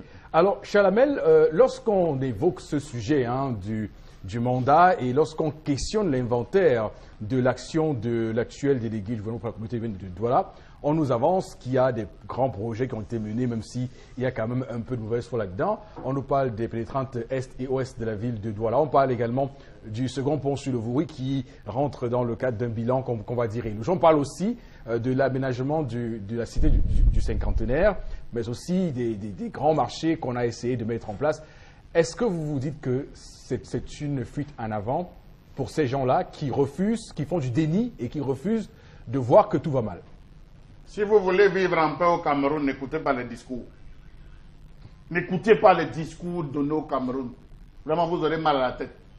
Avant tout ce que tu disais là, Eric Foposition parlait des taxis verified. C'est où? Avant taxi verified, on a parlé de euh, de- du concept car dispo avec les applications qu'il fallait télécharger. À l'immédiat, vous rentrez dans l'application, vous avez le numéro de téléphone, vous appelez. Aussitôt, il y avait un taxi, un car pour vous, pour venir vous chercher un véhicule. On a lancé le concept Taxi Verified avec une inauguration en grande pompe avec le gouverneur du littoral à la canne féminine. On a regroupé les taxis. On arrive dans la communauté Bamoun, on dit vous avez combien de taxis propres On dit 100 sortez. On va dans la communauté, si vous avez combien de taxis sortez, on vient à l'union, on met seulement taxi verified, verified. Appelez, on vient vous chercher. Vous connaissez comment on agresse dans les taxis aujourd'hui? C'est à peine à Yaoundé qu'on a, essayé- on a tué cela à Yaoundé, Ouais. avec je pense le GPIC ou le GSO, on a mis la main sur un groupe de personnes. Vous pouvez imaginer? Ça, c'est- ça doit être un vrai délégué qui devait travailler sur ça. Permettre la sécurisation. Même l'éclairage, avons-nous l'éclairage? Je me suis amusé à passer du côté de Socature. J'ai vu des beaux bus, il y a des beaux petits bus, des beaux petits costards neufs. Oui. Ça ne circule pas pourquoi? C'est pour les militants C'est pour qui? Je me suis posé la question. N'est-ce pas le même délégué nous avait promis une machine à faire le goudron qui devait colmater rapidement les trous On avait présenté cela. C'est où, monsieur le délégué? C'est où? Mais si on sait qu'il est 10 h c'est où? C'est où? On est appelé à s'interroger là-dessus. Activité illégale dans cette ville Oui. affichage de publicité. Regardez comment vous garez même votre voiture, en col. Comment les marchés sont donnés d'ailleurs Hein? Les Comment- boutiques même, voilà donc pas qui bloque. Les boutiques, ça se passe comment dans ce marché? Le marché central est au bord de l'implosion. Parce que des individus ont récupéré ici, ils ont donné là-bas, on a sous-traité ici, on a récupéré. C'est les mêmes clans. Aujourd'hui, voilà Bonaparte, moi, qu'on veut donner à Sylvie Blocher. La blanche là. Sylvie Blocher. Et ça m'a dit qu'il va On veut donner, comme ça. à, voilà, on veut donner ça à une blanche. Sylvie Blocher avait une pancarte. Je sais que je n'ai pas le droit, mais je m'excuse. Elle a quoi là-bas Il manque un notable ici à droite là, à qui on peut donner. Regardez le rond-point, le grossier rond-point. Vous voyez comment les policiers souffrent le matin? Oui. Les policiers souffrent le matin à feu rouge et baissé avec le grossier rond-point pour pouvoir diriger la circulation. Feu rouge et baissé, c'est grave. Le ministre de la Santé lui-même est complice. Il est complice. Et là, je l'index. On dit que les, médi- les médicaments de la rue, Ça tue. les médicaments de la rue, le Non, gazon, c'est- c'est c'est la quoi bonne pharmacie. Le gazon, c'est c'est- quoi? Le c'est- gazon au marché central, c'est quoi? Ce sont les médicaments de la rue. C'est les médicaments Mais on sait que c'est Ils sont installés c'est où? la pharmacie. Les médicaments de, la- de la rue tuent. Les gars qui sont au gazon au marché central, on ne les voit pas. Vraiment, excusez-moi. De poser les discours. Vraiment. Charles Amel, Évitez. regarde, le nom que tu as prononcé là, où c'est Sylvie Blanchard. C'est- Sylvie Blocher. Et c'est- André Blaise et Samad qui va mourir que pour ça. Que- comment on peut prendre une blanche, on vient Non, mettre non, le il, monument a, il, a, il a raison, tendance. Vous ne pouvez pas avoir un autochtone. Qu'il avait mis un monument, ils La, la on a détruit. décentralisation voudrait qu'il y ait un autochtone comme président de région. Vous avez un va. au rond-point, c'est le nom qu'on lui a donné, un Djundju au rond-point. Vous ne pouvez pas faire un monument de Mangabel, de Ngosoding ou d'études. Vous allez prendre une française pour venir encore mettre ici. que- Elle vaut quoi? Elle vaut quoi dans une ville où, où a existé, même- où tous ces gens dont on parle. Voilà. Non, mais en- entre nous, quand même. Il faut- Bon, faut en, réalité, en réalité euh, le, le problème qui est posée ce matin. Et lorsqu'on parle sur, euh, sur ce plateau, Bobo, je parle sur votre contrôle forasé Chalamet tendance, c'est qu'effectivement, je n'arrive pas à comprendre pourquoi un monsieur qui a autant de pouvoir indéniable, autant de pouvoir, soit nommé. Donc s'il avait été euh, fait comme partout dans les grandes villes, comme le maire de New York, le maire de Paris, le maire de Londres, et qu'on ait un maire, un super maire de, de Douala qui soit élu. euh, donc je pense que ces gens-là euh, réfléchiraient avant de pouvoir agir au quotidien. Et ça m'avait mis la- le, le Oui. monument de John Fonche, si on a cassé. Il m'a dit que c'est le même monument qu'on va mettre, parce que depuis l'autre jour, il est à la chasse. Hmm. On a même mis les clous là-bas, ici au Carrefour et ça m'a- il a enlevé tous les clous. Il dit que papa Antonin vient répondre. C'est ce qu'il m'a dit hier. Hmm. Voilà, ça c'est une Non, ça, perversion c'est de c'est une la provocation. Si, si une ce que. Charles Ahmed développe Oui. là arrive à se réaliser, c'est que le délégué du gouvernement est à de passer le Rubicon. Ça veut dire qu'il provoque, il provoque ces populations. en D'accord, fait. oui, Charles Hamel. Le, le rond-point du marché central. Le rond-point du marché central, c'est un rond-point ça. Non, on l'a- on l'appelle la place de l'indépendance. Ah, et là-bas, le rond-point du marché central. Oui, la place de Tous ceux qui l'indépendance. vendent les médicaments. Les le ministre, le de la Santé qui dit que les médicaments de la rue tuent. Il ne voit pas les docteurs là. On les ne voit pas. Parce que rond-point du marché central, ça D'accord. peut être ce qu'on appelle c'est la va- fin de, du va boulevard sortir- des Nations On va Unies. sortir du Donc c'est la sujet. place de l'indépendance. D'abord, euh, Ch- Ch- Chalamel, c'est quoi la solution pour sauver Douala, ville poubelle, ville désordre, il faut, faire il dissoudre le poste de délégué. On n'a pas besoin d'un délégué du gouvernement. faut On n'en a plus ça. besoin. On n'en a plus besoin. Ça nous sert, ça nous sert à rien. Qu'on responsabilise chaque maire. Et là, les populations auront les chicottes pour marcher derrière les maires. Voilà. Et même ces gens qu'on ne parvient même pas à rencontrer. Quand vous demandez à les rencontrer, ils n'ont jamais le temps. Ils sont là pour servir les populations. Et, et- et ils sont également là pour être aux inaugurations des grands, décroche des, grands, des grands produits qui nous viennent de l'Europe. En tout cas, je rappelle que, je rappelle qu'en France, je le- rappelle qu'en France, il y a des maires d'arrondissement, comme à Douala. hein. Il y a le maire de, de- de Paris, premier arrondissement, deuxième, troisième, quatrième, jusqu'à. Et puis il y a un maire, il y a Madame le maire de Paris, Anne Hidalgo, qui justement est elle aussi élue et pas nommée comme c'est le cas à Douala, Yaoundé et ailleurs euh, d'autres villes du Cameroun. On va euh, sur ce, Madame, Messieurs, prendre une pause pour la première partie euh, de votre émission de ce matin. Euh, je vous dis qu'on revient dans un instant.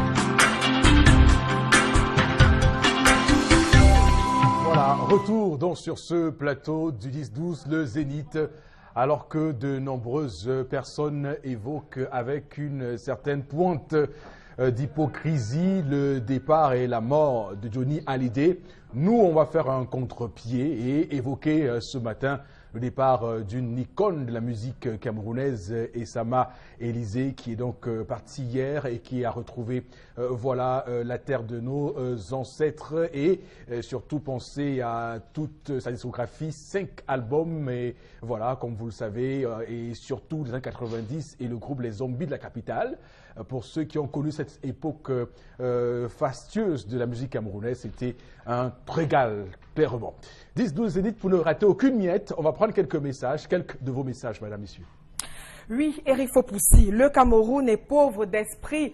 Y a-t-il un seul Africain, euh, une seule ville africaine qui porte euh, les rues du nom de l'Occident? Nous régnons tous les jours notre histoire et notre culture pour faire honneur ou faire l'apologie euh, des choses qui nous sont étrangères. C'est Junior Meke euh, qui réagit euh, ce matin.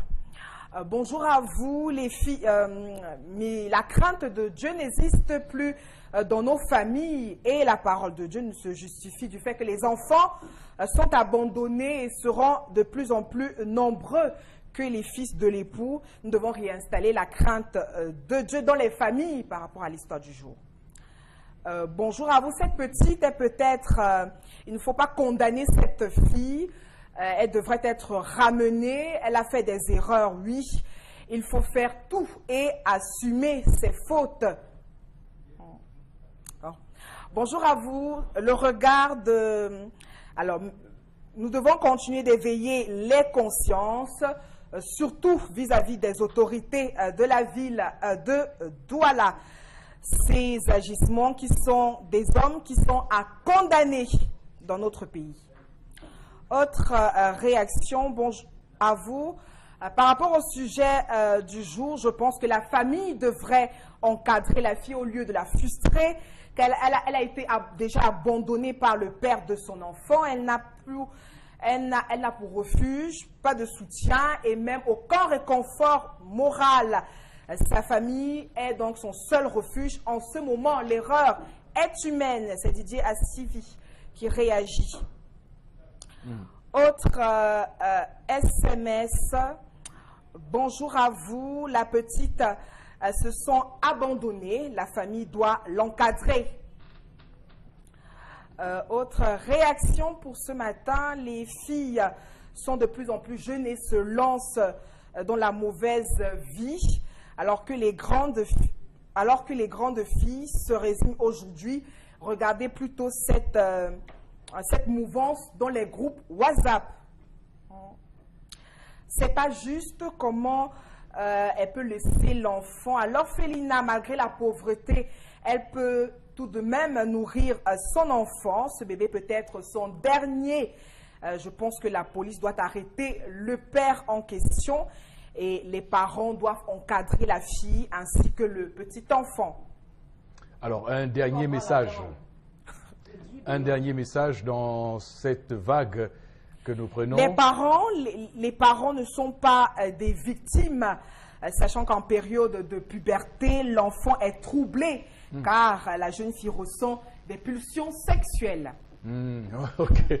Merci infiniment, Florazé, pour euh, euh, ces messages que vous avez déclamés avec la dextérité habituelle. On va, euh, sur euh, ce coup-là, introduire la revue des réseaux sociaux de ce matin. Pourquoi ne pas le faire tout de suite? Oui, merci Eric Fopoussi. Avec cette information qui fait le tour de la toile, et Charles Hamel, en début de son propos, en parlait. On rappelle que dès l'année prochaine, les magistrats municipaux vont donc assurer eux-mêmes la maîtrise d'ouvrage pour ce qui est de l'entretien des routes dans leur commune. Alors le montant retenu pour les dites euh, opérations pour cette année 2018 qui va débuter est de 1,82 milliards de francs CFA. Cette enveloppe apprend-on euh, sera repartie à toutes les communes traversées euh, par toutes les communes traversées par ces routes, notamment les routes communales, les routes nationales et régionales. On rappelle que les magistrats municipaux étant ordonnateurs euh, euh, du fonds routier ont pour responsabilité de suivre l'exécution des travaux ainsi que euh, l'ordonnance des paiements assurés par le fonds routier. Le ministère des Travaux publics également indexé a établi des spécifications techniques pour le bien-être de la population, à savoir le désherbage, le débroussaillement des, des abords de la route.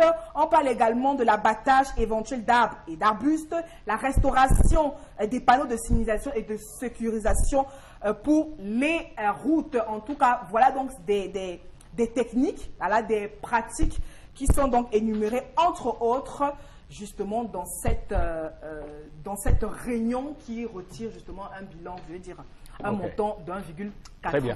1,82 milliards de francs CFA pour l'entretien des routes pour cette année 2018. Bon, que je me tourne vers vous et vous avez sans doute compris pourquoi. je me tourne vers vous euh, parce qu'il est question là de questionner ici euh, le pourquoi ça, ça coince de la décentralisation euh, au Cameroun et, et surtout euh, c'est un signal quand même qui est envoyé pour tous ceux comme vous qui êtes apôtres de la mise en place effective du processus de décentralisation dans notre pays. Oui, mais le pouvoir central nous a démontré qu'il ne veut pas mettre la décentralisation. On a disait, comme ça Lamel le disait tout à l'heure, il ne faut pas, il ne faut plus croire au discours. hein. C'est, vraiment c'est un leurre. Un milliard 200 millions pour les routes euh, communales, c'est-à-dire les routes qui ne sont pas bitumées. La décentralisation recommande que chaque euh, mairie doit avoir ses engins. Mais dans le transfert des compétences et des ressources, ça, ça- ça se fait comment? Ça se fait que l'État central ou le gouvernement transfère les matériels des travaux publics au niveau de chaque délégation départementale. Nous avons 58 départements dans le Cameroun aujourd'hui. Qu'on me dise, moi je n'ai pas encore vu jusqu'à ce jour, du mercredi 8 février aujourd'hui, un seul département qui a de matériel. C'est-à-dire, vous venez chercher une niveleuse, on vous dit allez à la délégation départementale des travaux publics, vous allez même louer une niveleuse.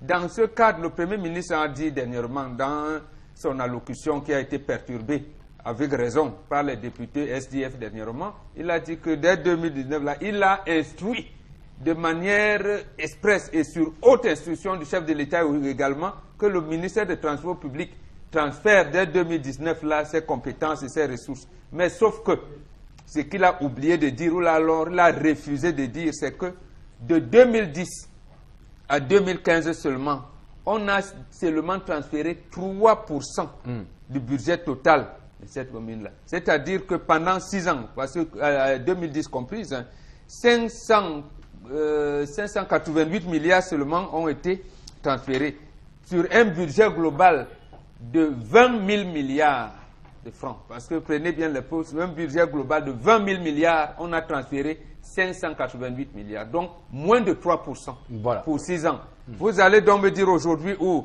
on vous dit qu'on doit envoyer l'argent au ministère des Sports pour préparer la Coupe des Nations 2019, où on doit chercher Boko Haram et on ouvre encore un autre front, front de guerre là-bas, parce qu'il faut, pas- faut le rappeler également. Oui. Le FMI, la Banque mondiale, nous disent que Boko Haram a absorbé beaucoup d'argent. Et c'est ça qui a amené le pays à un autre plan d'ajustement structurel. Donc nous n'avons pas d'argent. Nous n'avons pas d'argent. Et là où le, le Premier ministre vient vous dire que non, vraiment, dans les 360 communes, on a recensé des communes prioritaires où on va donner cet argent. J'attends de sont- voir, j'attends de voir pour croire. Elles sont, elles sont 201 communes pour le coup. Je, Ah, ah, voilà, mais de je les m'interroge- 201 communes, donc Voilà. ça veut dire que c'est les communes qu'on a recensées. Mais j'attends de Et, et voir. donc, pour je m'interroge quels sont les, euh, euh, les critères qui ont été mis en avant pour euh, Mhm. choisir ces 201 communes. Tendance, euh, on parle ce matin de la décentralisation. C'est un vœu euh, qui est toujours lancé, c'est un vœu, je veux dire, pieux, mais ça, ça n'arrive jamais au, au final. Non, on va donner. Tu sais qu'on va donner, mais sauf que ceux à qui on donne, est-ce qu'ils vont vraiment utiliser cet argent pour, pour, pour soigner l'image du pays Point d'interrogation. Oui. La- le budget, le, mon- le, le montant là, je n'aime jamais. Tu as dit combien de milliards, Flora?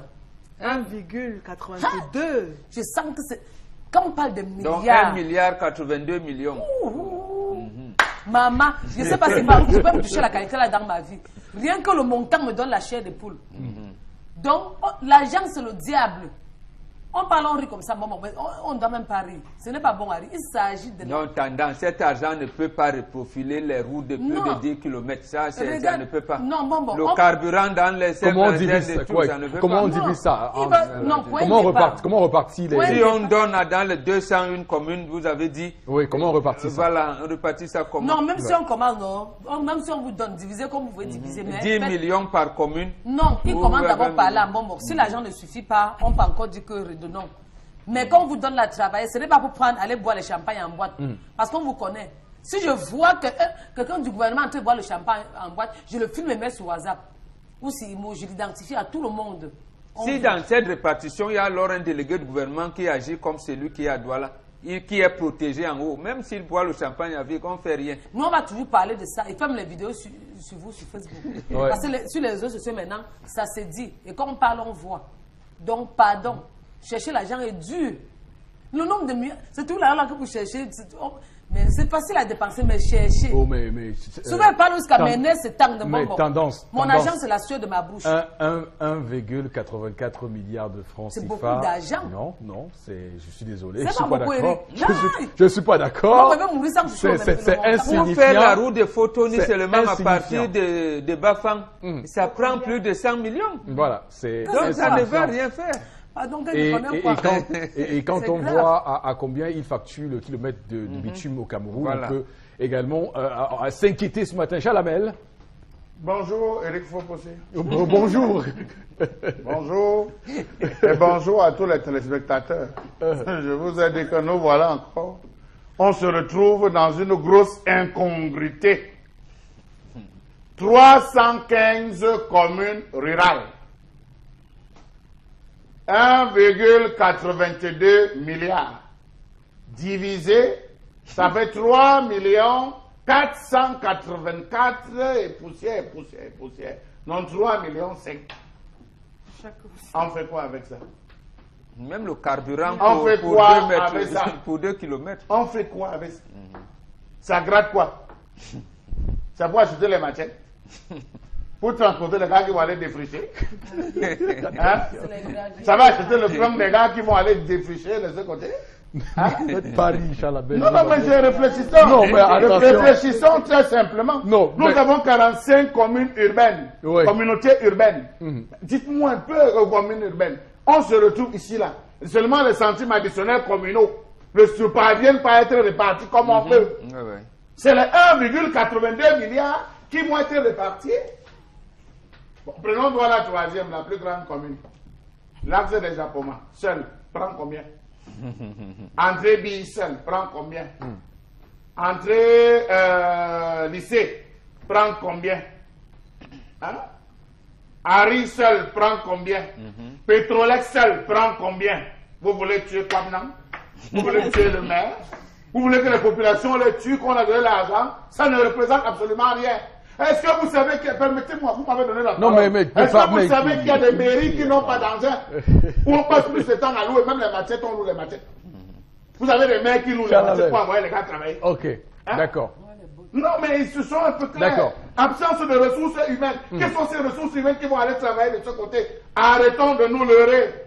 Écoute, euh, vraiment, gardez ces 1,82 milliards, c'est important. Demandez juste à nos supermaires de partager les centimes communaux additionnels. plus, de, plus de partager ça parce partage. qu'il est quand même euh, incongru et ça vous le dites parce que je rappelle que le budget de l'État, hein, les, euh, toutes les collectivités territoriales centralisées ont à peine 3% hein, du budget de l'État, ce qui est réellement un problème lorsqu'on parle de transfert de ressources et de compétences. Euh, Je me demande bien comment euh, tout cela s'articule et tout cela se met en boîte euh, et au final, tous ceux Savez-vous que sur qui 35 réclament- milliards, par exemple, Oui. environ 35 milliards qui sont perçus par la communauté urbaine, on, on- on ne redistribue, que 3 milliards de francs CFA sur les 23 milliards. Je vous l'ai dit tout à l'heure, et justement, Donc la sur partie que je 35 redistribue, milliards, oui, on donne 3 milliards. Les autres 23 partent où Voilà. C'est incongru. Que, que euh, il y a- il y, en a des, des personnes qui sont élues, élues du peuple, qui Et ont et, Et d'autres cooptés. C'est eux qui ont les plus gros budgets et ceux qui doivent répondre devant le peuple euh, n'ont pas assez de moyens pour implémenter leurs différents projets.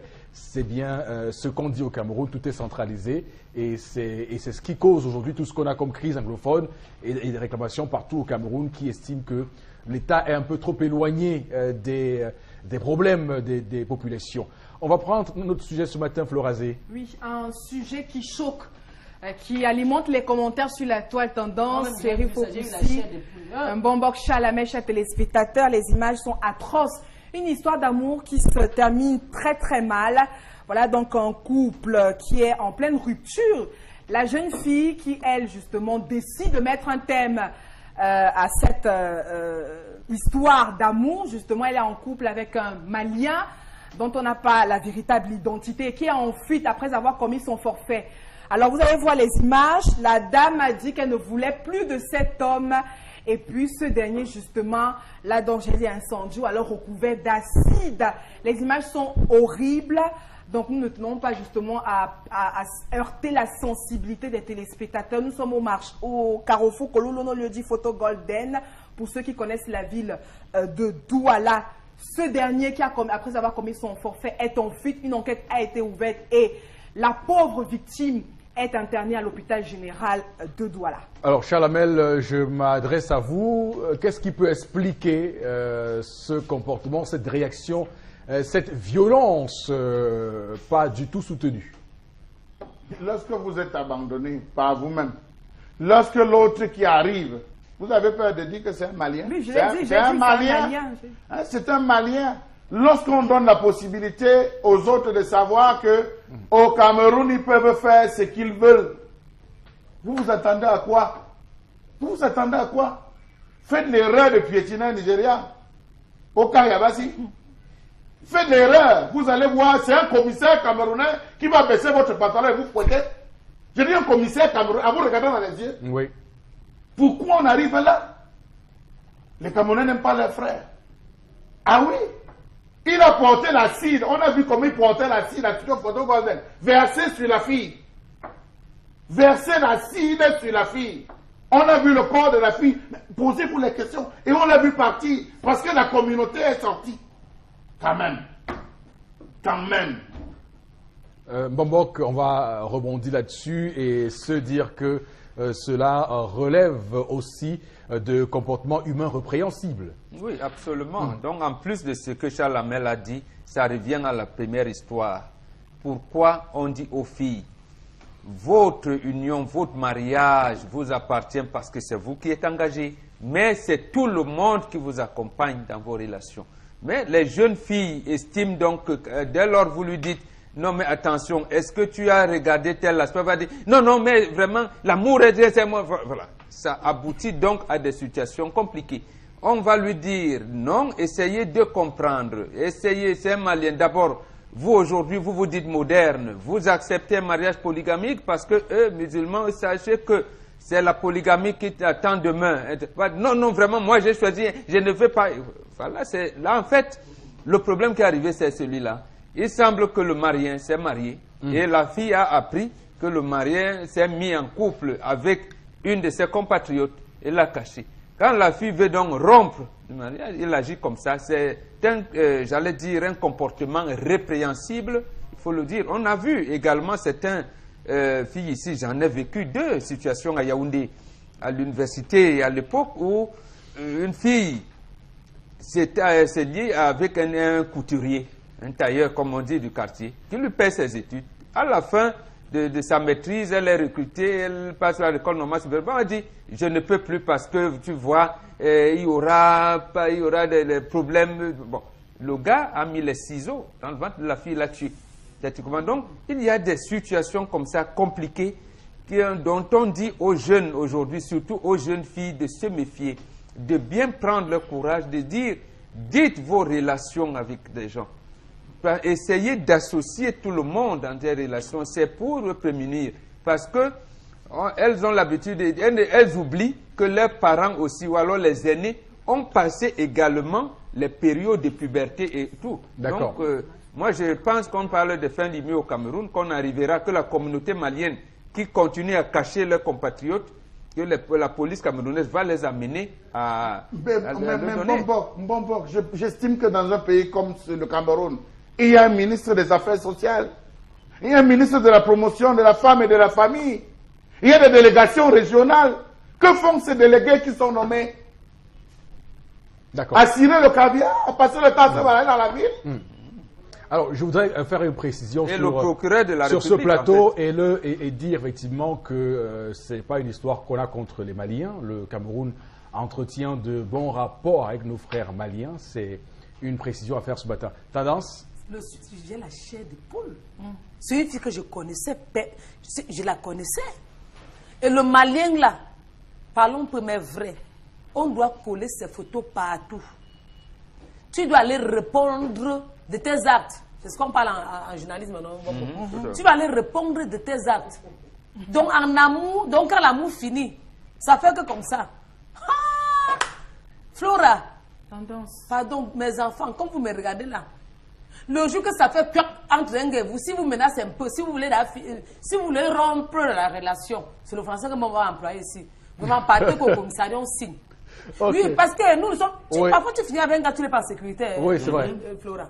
Si un gars commence à te menacer dans le foyer ou en couple, que peut-être ton cœur ne bat plus pour lui, maman, si tu vois qu'il te brutalise trop, cherche le commissariat le plus proche ou encore la brigade la plus proche.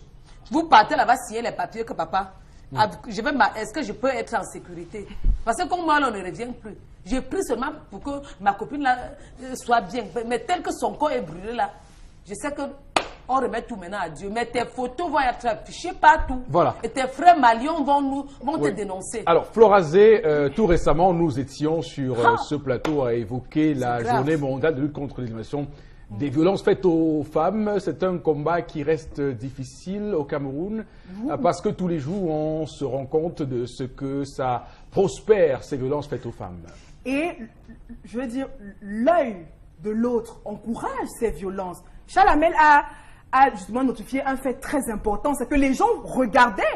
Et c'est ce qu'on vit au quotidien. Ça veut dire, vous voyez un homme qui est en train de brutaliser, tout le monde regarde. hein. Que C'est un joli spectacle. Allez, on prend un téléphone, on fait des selfies, on fait, et on balance. C'est-à-dire, personne n'est inquiété. Ça, ça fait très mal. Si la population, c'était un sujet et était tombée sur ce dernier, je crois qu'on aurait, on aurait limité les dégâts. On ne peut pas montrer cette image parce que c'est choquant. Imaginez-vous vo- votre soeur, votre mère, votre fille reçoit de l'acide sur le corps.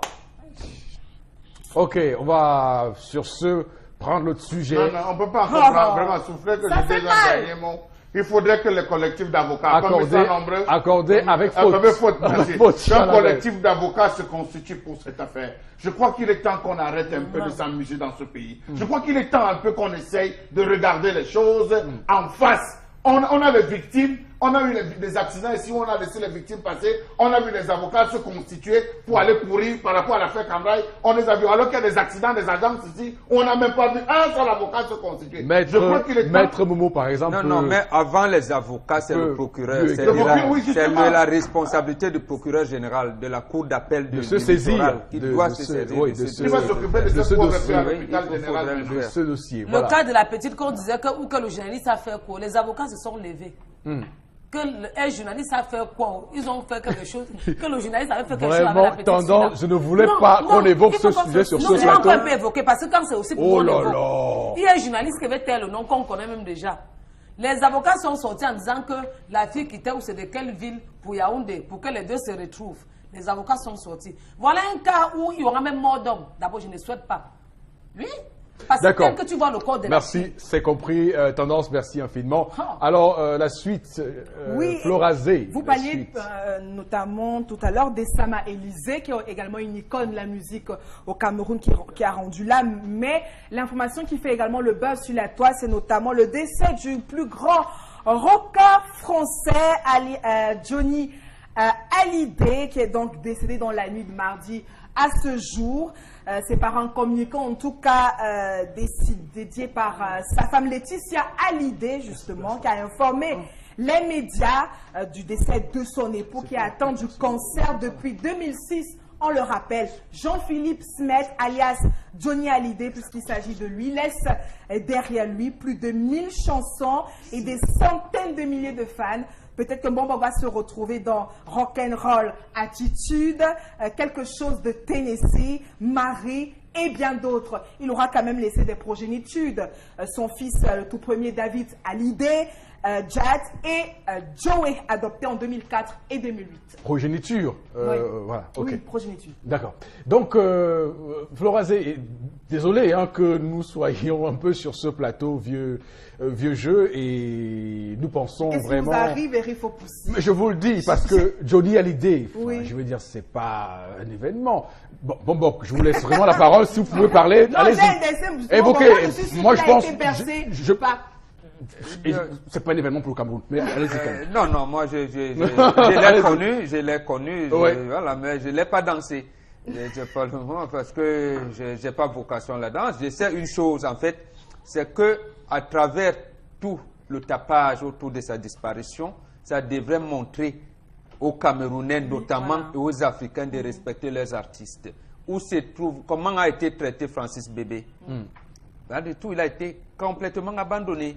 Complètement. Et Manu Dibango aujourd'hui, il a fallu que Anne-Marie Zé supplie, gronde même le chef de l'État pour qu'on vienne à lui donner un appartement, appartement, qu'on lui ouais. construise une maison. Et Et, bon, l'hôtel même aussi, quand on a donné euh, euh, ça, les ouais. moyens de lui pour lui construire une maison, ça a failli être détourné. Donc voilà, au moins là-bas, dans des pays où on sait respecter les valeurs, on est en train d'accompagner leurs artistes. C'est ce qu'on souhaite pour nos pays aujourd'hui. Mais j'ai dit une chose également, comme nos chefs d'État africains ne savent pas, il faut bien qu'on les enlève là où ils sont. Parce que quand ils sont là, ils continueront à empêcher l'éclosion des génies dans nos pays. Mm, D'accord. Et surtout, bon, moi, sincèrement, hein, bon, merci pour, cette, pour cet angle de vue. Euh, et tendance, oui. Oui, bon, on va parler des artistes, mais ce matin, je vais, je vais même pas seulement les artistes. bon, Oui. bon. Françoise Mbangwe, où? Point d'interrogation. Voilà. Sarah Etongue. Elle On, est on- elle est même début. On nous avait dit qu'on a construit sa maison, mais il n'y avait pas les toilettes. C'est vrai, bon, bon. Mhm. Je l'ai tout récemment vu. Même euh, la statue au, au qu'on a marathon de faite Douala. d'elle ne ressemblait pas à la femme. à Eh, la oh, femme. oh, oh, elle était marraine, elle était marraine du marathon de Douala tout récemment. ouais. et on m'a même dit que Françoise Mbango est maintenant française. Oui, Qu'elle s'est fâchée en disant qu'au Cameroun, quand elle faisait n'importe quoi, on ne la respectait pas. Oui. Donc je ne sais pas si c'est vrai. C'est vrai. C'est ce que les gens disent au ghetto. Je les confirme disent au tendance. Elle est française, justement parce qu'on ne la respectait pas ici. Et si tu, si tu confirmes, bon, bon, je valide, parce que tu es un notable, et donc, bref, tu es un expert, tu es un patriarche. Waouh, Atalakoula, c'est pas non, possible. Tout le monde peut la Talakou. Talakou. Les gens qui passent le temps à chanter, à citer les noms des grandes personnes là-haut. Moi, je vais sortir une chanson à Talakou. Je vais citer les noms des gens. Oui. Citer jusqu'à. Je cite même le nom des journalistes, même des animatrices. Ok. Parce que c'est qu'en reportage. tu- Non, c'est que tendance nom. dit là. Comment vous pouvez dire que le chef de l'État camerounais dit à Roger Mila lors de la finale d'une Coupe du Cameroun, Mila était rentré jouer à tonnerre, je vous verrai. Et qu'on attende 5 ans pour que Jacques Chirac vienne avec Roger Mila dans ses valises pour lui dire, mais monsieur le président, vous avez vous reconnaissez ce monsieur? Et pour que enfin qu'on nomme Roger Mila ambassadeur itinérant, ce n'est pas possible, c'est pas normal ces choses-là. Et, ma, et, ma, et ma chanson va aussi mettre le nom de Charles Hamel parce qu'il va faire la chronique sur ça, la colère. Voilà. Toi, Mais- tu- le reportage, tu Mais dis- bon, mais bon, soyons, sérieux, soyons sérieux sur ce plateau pour dire que, effectivement, euh, quand on regarde le tapage médiatique qui fait suite à ce départ de Johnny Hallyday, on a quand même un peu mal pour nos artistes camerounais. sûr, c'est ce voilà, et. Sama Élysée qui meurt hier dans un anonymat total. On parlait encore il y a six jours de Bagasoukous, personne n'en a fait cas. Lisati est partie tout dans les conditions de- de- dans les conditions qu'on connaît. Donc, ce sujet nous amène, Florazé, ce matin, à évoquer la reconnaissance de nos, de nos icônes, à mettre en place au Cameroun une politique de panthéon pour mettre les artistes où ils doivent être au panthéon de, de- de la mémoire nationale du vert rouge au Cameroun. Chalamel, avant que Florazé ne réagisse, j'aimerais vous entendre sur ce sujet. Seuls ne doivent être riches dans ce pays que les fonctionnaires. Oui, Retenez-le. oui, Seul ne doit être riche dans ce pays que les fonctionnaires. Les fonctionnaires seuls doivent être riches. Raison pour laquelle le secteur des arts peut faire tout ce qu'il veut. La France a perdu un artiste qui s'était exilé à cause des pressions fiscales. Johnny Hallyday. Je ne suis pas Charlie Hebdo. Je ne suis pas le Bataclan. Je suis Cameroun. Je suis Marois. Je suis Garois. Je suis Pousseri. Je suis Bamenda. Je suis Boya. Je suis Camerounais. Je réponds là. Pour répondre à vous, Maman, Francis Bébé a été ignoré. Il a été, il n'a pas été abandonné. Il a été ignoré. Merci. Il a été ignoré comme Messi Martin. Beaucoup de Camerounais ne connaissent pas que c'est Messi Martin qui introduit la guitare électrique dans le Bikouti, qui introduit pour la première fois en 1970 le Menzang. Oui, c'est le précurseur. C'est le du précurseur du Bikouti. Oui. Il est mort comme un chien galeux. Excusez-moi pour sa famille, mais j'emploie les mots. Voilà Messi Martin qui a ramené les prix. Ça là, me connaît mort comment?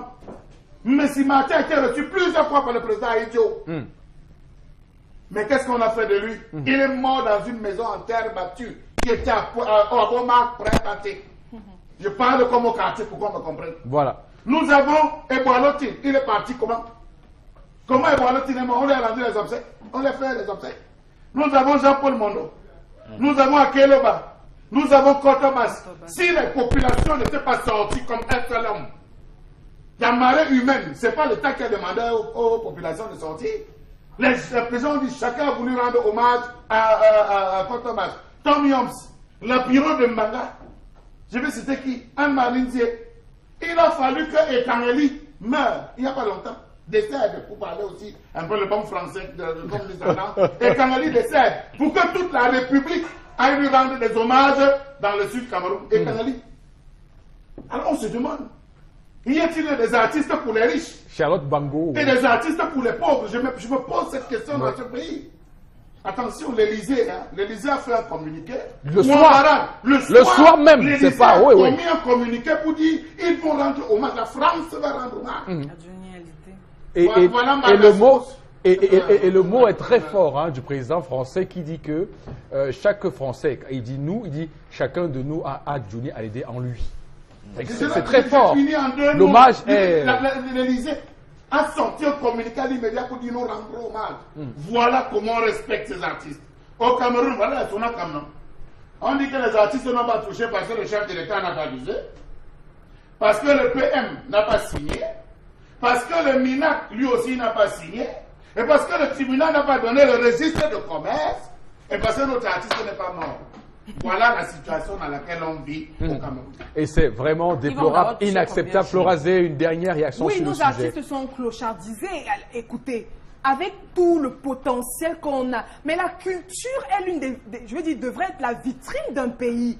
On a toujours pris pour référence ces grandes, ces grandes puissances, comme la France et autres, Paris, les grandes villes métropolitaines, à travers le monde. On devrait avoir notamment des monuments, on devrait avoir un monument des Boilotines. On devrait avoir un, un monument comme il se doit, comme il- il- de, de, de, de, de Cotobas, de, pas mal d'artistes justement qui ont à un moment donné fait briller les couleurs du, du, du pays. Mais nos artistes sont comment aujourd'hui? Si vous voyez des artistes comme Kodo Sitoni, hein, vous allez pleurer. Pourtant, ce sont des personnes qui ont valorisé la culture africaine. Mais ils sont où aujourd'hui? Parce qu'il n'existe pas de politique pour la culture. Non Il n'y a pas seulement le chant ou alors il- tous les artistes plasticiens, peintres et autres sont lésés. Je vous ai, pris alors le cas, qu'ailleurs, je vous ai pris le cas de Louis Epé, c'est un Camerounais, résident à Bonendale, dont les, les- les tableaux, au moins cinq tableaux, trônent dans le bureau de Jacques Chirac. Je dis Louis Epé. non, on ne le connaît pas. Louis Epé, un petit On ne Camerounais. le reconnaît pas. Mais ces tableaux sont chez Jacques Chirac. Je ne suis pas sûr si on entre à la présidence de la République, ou si on entre au premier ministère, au cabinet civil, ou même chez ces ministres, on va retrouver un- une seule toile. Non, c'était Léonard de Vinci qui sera là-bas. Voilà. Alors que lors Merci. du festival des arts nègres culture en 66 à Dakar, c'est André Malraux qui dit que Jean Bekoko, j'ai entendu un truc comme ça, alors qu'il ne sait même pas prononcer la tico. Et il demande qu'on amène, et il meurt comme ça dans le démoulement total. Va- Vraiment. Voilà encore Jean. Et Voilà quoi, le, le- la, la psycho comme on aime et comme on adore. En tout cas, euh, c'est ça le prétexte qu'on a voulu prendre pour évoquer donc cette misère euh, dans laquelle euh, survit ou bien on va dire sévit euh, l'artiste camerounais et on, a, on, a- on va simplement le regretter euh, ce matin avec beaucoup euh, de force pour que ceux qui nous regardent et qui ont la possibilité de gérer ce pays euh, puissent euh, se corriger. hein. c'est la correction, prendre un big rouge et euh, remettre les choses en place. Pourquoi pas euh, faire des rues? On a des rues ici qui sont nommées à, à, à Non, avenue- c'est de, l'Union française. des rues. Oui, oui, de, de- de- Gaulle. Des rues avenue de Gaulle et tous ces euh, Kennedy, avenue Kennedy, je pensais à avenue Kennedy. C'est à hein. Yaoundé. À Yaoundé, Des- Des justement. Jameaux. Ici, Voilà, c'est c'est- Jameaux. voilà, on- on pourrait Des peut-être mettre. Pourquoi pas, Ah, et on- voilà, Rue Loti, Foch, Des- rue rue- Bernadette, rue Foch, rue rue- Gallieni. Voilà. Valieni, Vasnistek. Voilà, nos artistes sont là. Berthaud. Ouais, ça. Voilà, on pourrait simplement prendre ces noms-là et les coller là pour qu'on se reconnaisse tous euh, dans Carrefour ces Sylvie grands Blochet. Attention, Chalamel. plus. On, on est, on est passé dessus, hein, clairement. Mais c'est important de revenir parce qu'effectivement, ça montre euh, combien le mal est profond euh, dans ce pays. La suite de ce programme avec, euh, justement, mesdames, messieurs, quelque chose qui va débarquer dans un instant. La nourriture colle constamment à votre poil Fatigué de frotter, gratter et d'abîmer vos poêlons? Eh bien, j'ai la solution. Bonjour, ici Cathy Mitchell, avec ma nouvelle poêle Red Copper. Cette poêle révolutionnaire est faite de céramique non collante et de cuivre super solide. Garantie de rester sans égratignure, pas de rayures et pas de résidus collés. Elle est légère et extra résistante. Elle ne s'égratigne pas et elle ne s'effrite pas dans votre repas. Regardez, des biscuits trempés dans le sucre à la cannelle et glacés de caramel collant. Mettez au four. Red Copper va au four avec sa poignée qui résiste jusqu'à 500 degrés Fahrenheit et le tout glisse tout seul. Miam! Cuisine et santé. Des lanières de poulet presque sans gras et presque sans huile. Red Copper utilise un cuivre pur à 100%, si durable que vous pouvez couper du beefsteak et des oignons pour un sandwich au steak et fromage fondant. Rien ne colle. Battez-y les œufs sans bol à mélanger. Vous gagnerez du temps. La poêle Red Copper est sans PFOA ni PTFE. Elle est sécuritaire pour vous et votre famille. Flambez vos desserts, grillez du poisson ou faites cuire un poulet au parmesan.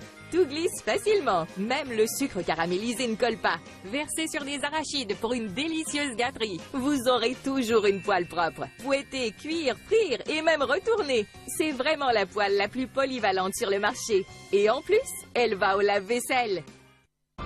Et donc, on va parler de ces poils Red Copper avec vous ce matin, Claire, euh, ou encore Miss Claire, ou encore la belle Claire, ça dépend de qui euh, souhaite euh, poser un adjectif euh, sur son prénom. Bonjour et bienvenue sur le plateau.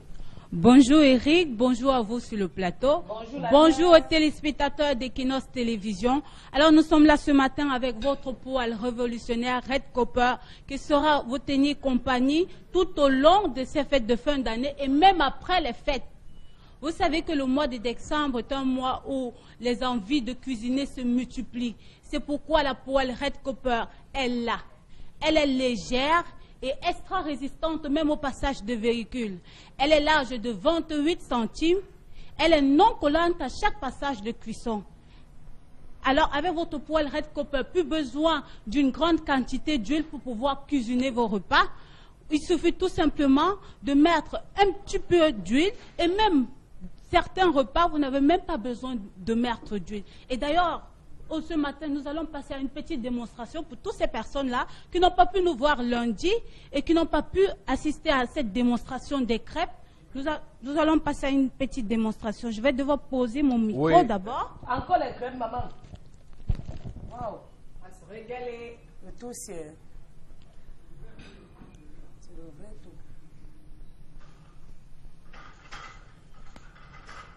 Là, c'est les crêpes, hein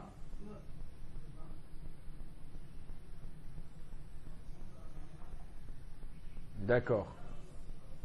La belle Claire en cuisine. Les crêpes, même, c'est maman. Quand, il y a un peu, quand on fait ça après, chop ça avec le lait. Alors, comme les crêpes sont déjà dans la poêle Red Copper, nous allons tout simplement laisser qu'elles mijotent. Il faut rappeler que nous n'avons pas mis, d'huile dans cette poêle, hmm. puisque nous allons vous démontrer que cette poêle est non collante. Vous n'avez pas besoin d'huile pour faire vos crêpes, vos œufs et même euh, beaucoup d'autres choses. Voilà. Même légumes sautés. Sans huile surtout. Sans huile surtout. Voilà. Elle se décolle facilement. Elle est non collante. Nous avons d'abord la laisser un peu la crêpe mijoter et nous allons vous passer, nous allons passer au prix. Red Copal coupe 15 000 francs. Seulement 15 000. Seulement 15 000 francs Red Copper.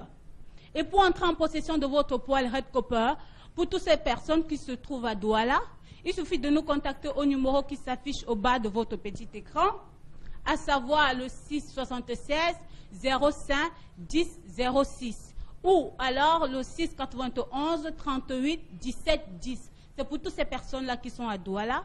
Et à Bafoussam également, nous avons un contact qui est le 6 98 83 98 50 le 6 98 83 98 50.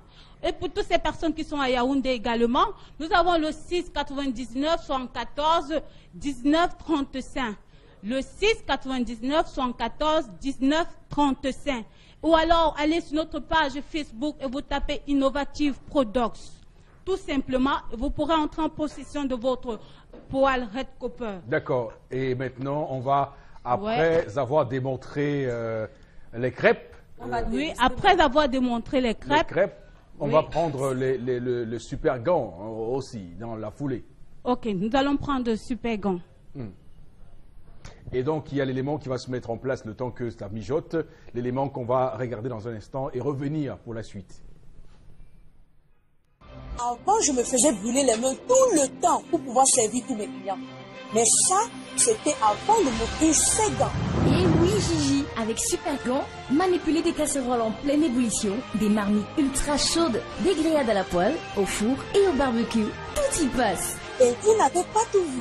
Fabriqué à base de silicone, Super Gant est anti-brûlure, anti-chaleur et fait gagner du temps.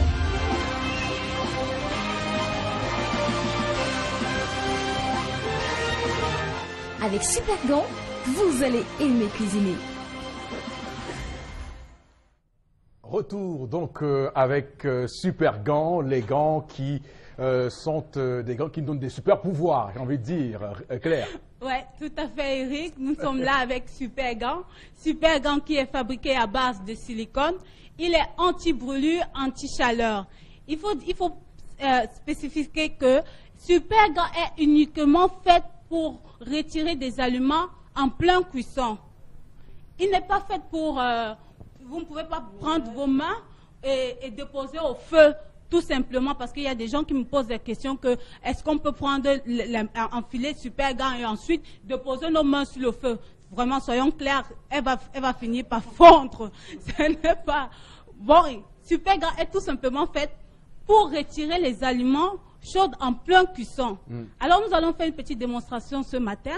Il suffit, on va tout simplement enfiler nos gants. Oui, vous déposez le micro clair et vous enfilez euh, ce super gant et on va voir euh, comment cela se passe lorsqu'on euh, est amené à retirer, je ne sais pas, une prune chaude sur un brasier. Donc c'est aussi ça. Nos grammaires au village avaient souvent...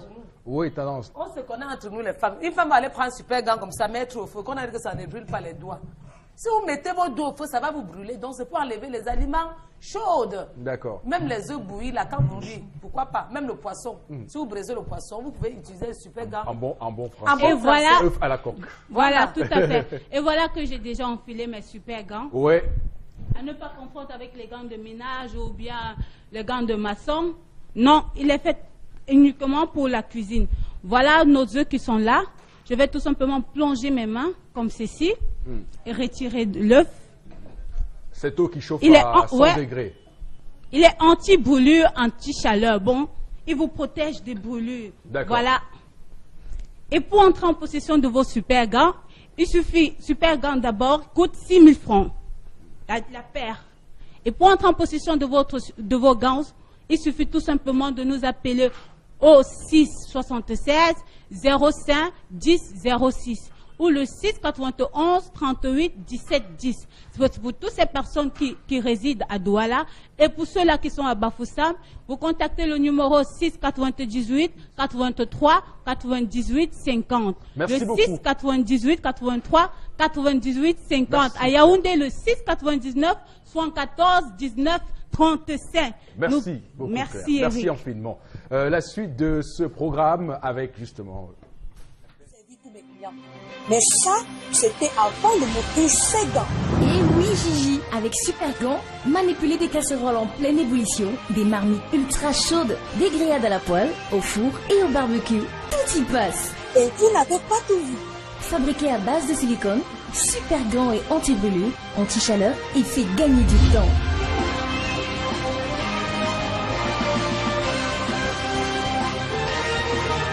Avec Super Gant, vous allez aimer cuisiner. Voilà, on est donc euh, là dans le cadre de euh, 10-12, le Zénith sur Equinox Télévision. Merci à vous, madame, monsieur, euh, de passer la matinée en notre compagnie. Place maintenant donc à interpellation de cette matinée.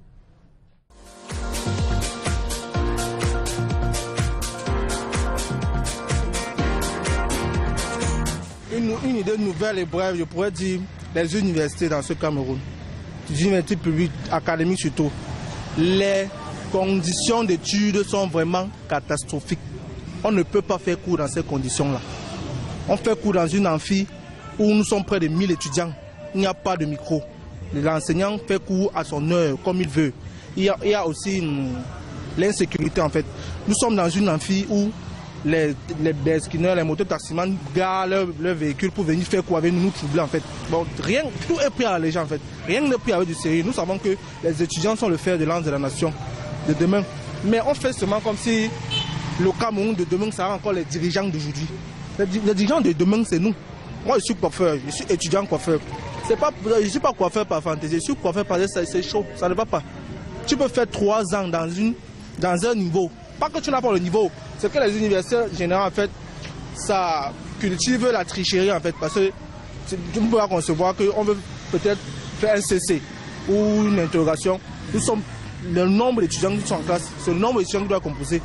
1000 pour faire une composition. La surveillance, c'est comment On peut essayer de construire plusieurs universités. Parce que plus les universités sont nombreuses, plus le nombre d'étudiants par salle va diminuer. Et essayer aussi de changer le personnel. Parce que tu vas voir un, un professeur qui est déjà âgé, fatigué. Il vient, il fait ce qu'il peut. On ne veut pas des gens qui vont faire ce qu'ils peuvent. On veut les gens qui doivent faire ce qu'il faut, pas ce qu'ils peuvent. Non, pensez à équiper les universités parce que l'éducation, la théorie, la théorie n'avance à rien. Il faut justement la pratique. Parce que sur le terrain, c'est la pratique que nous on veut.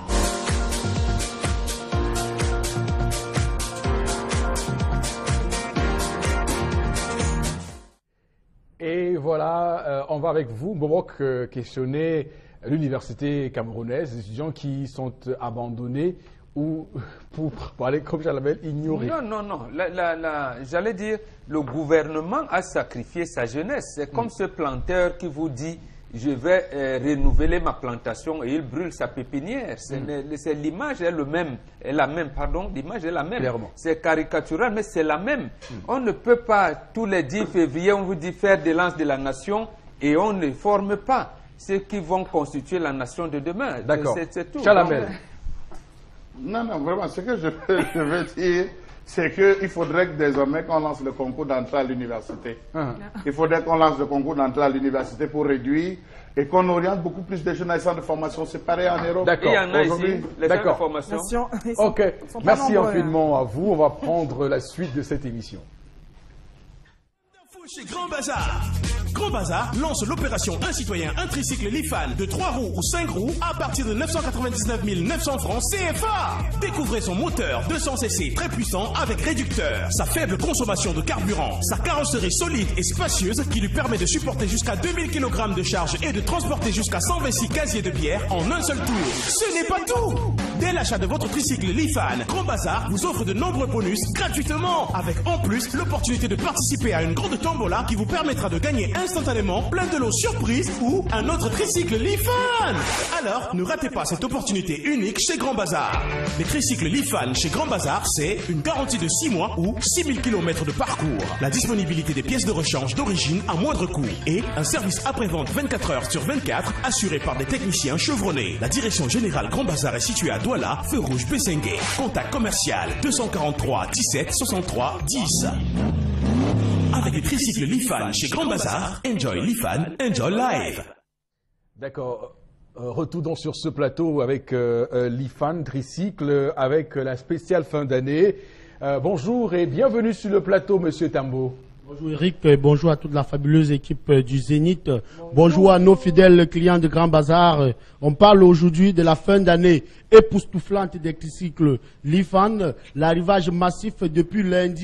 Toutes les chefs, tous les chefs d'entreprise se bousculent chez nous. Ils s'alignent pour s'acquérir ce nouveau modèle de tricycle jamais vu au Cameroun, plus sophistiqué, plus moderne, plus rapide et facile pour transporter vos marchandises vers vos clients. Question d'accroître vos chiffres d'affaires en cette fin d'année pour euh, un rendement optimal de votre travail en journée. Et on vous a dit, ce sont des tricycles qui consomment moins et ces tricycles sont également dotés des systèmes de radiateurs à eau et des systèmes de refroidissement à air pour pallier aux problèmes de chaleur qui sévit actuellement dans la ville de Douala, Eric.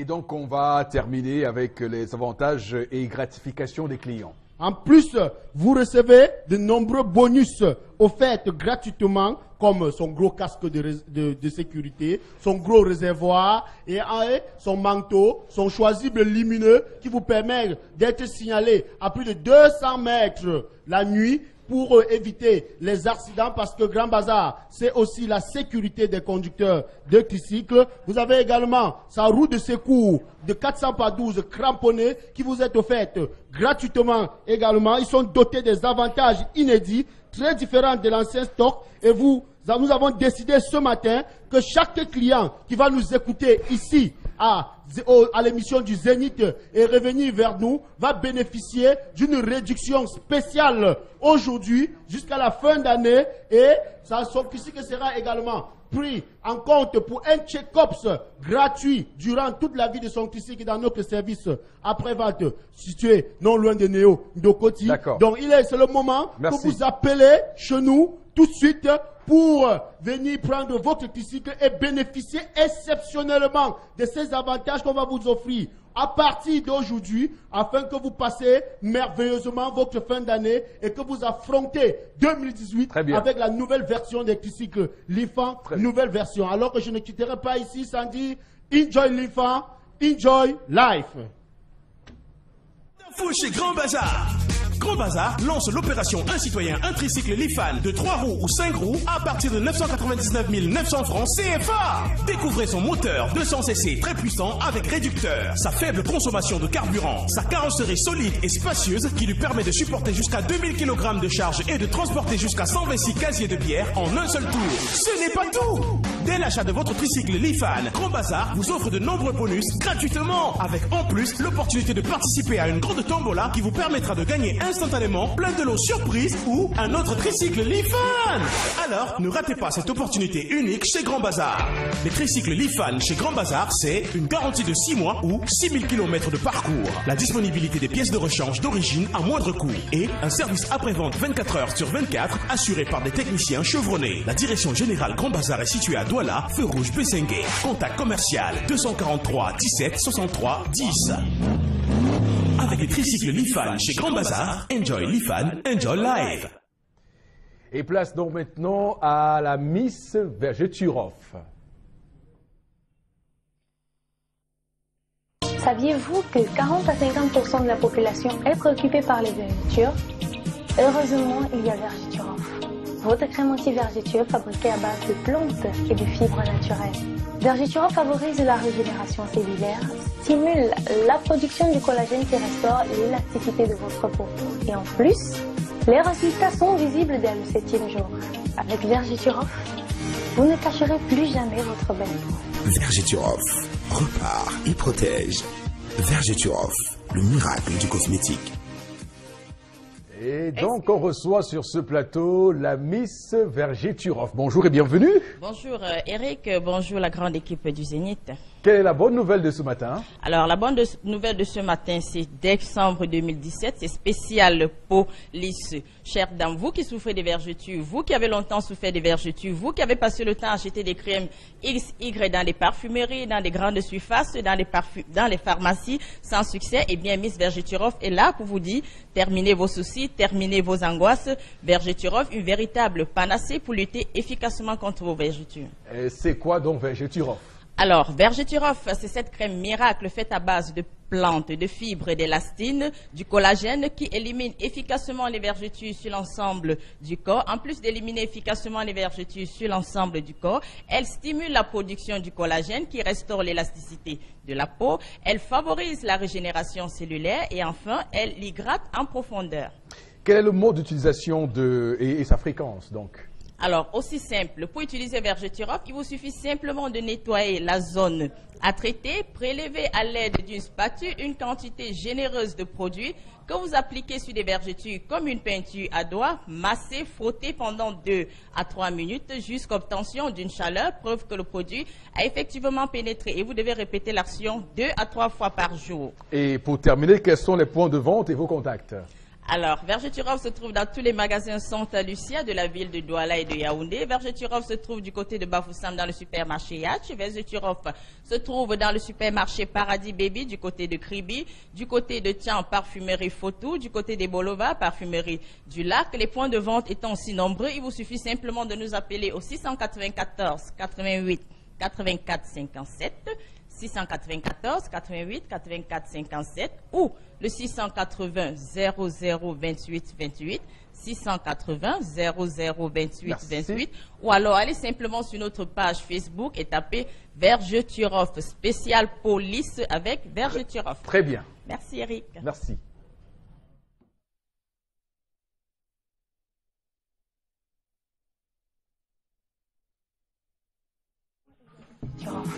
Votre crème anti-vergeture fabriquée à base de plantes et de fibres naturelles. Vergeturov favorise la régénération cellulaire, stimule la production du collagène qui restaure l'élasticité de votre peau. Et en plus, les résultats sont visibles dès le septième jour. Avec Vergeturov, vous ne cacherez plus jamais votre belle peau. Vergeturov repart et protège. Vergeturov, le miracle du cosmétique. Voilà, Madame, Monsieur, merci infiniment à vous d'avoir été là ce matin sur Equinox Télévision. À demain.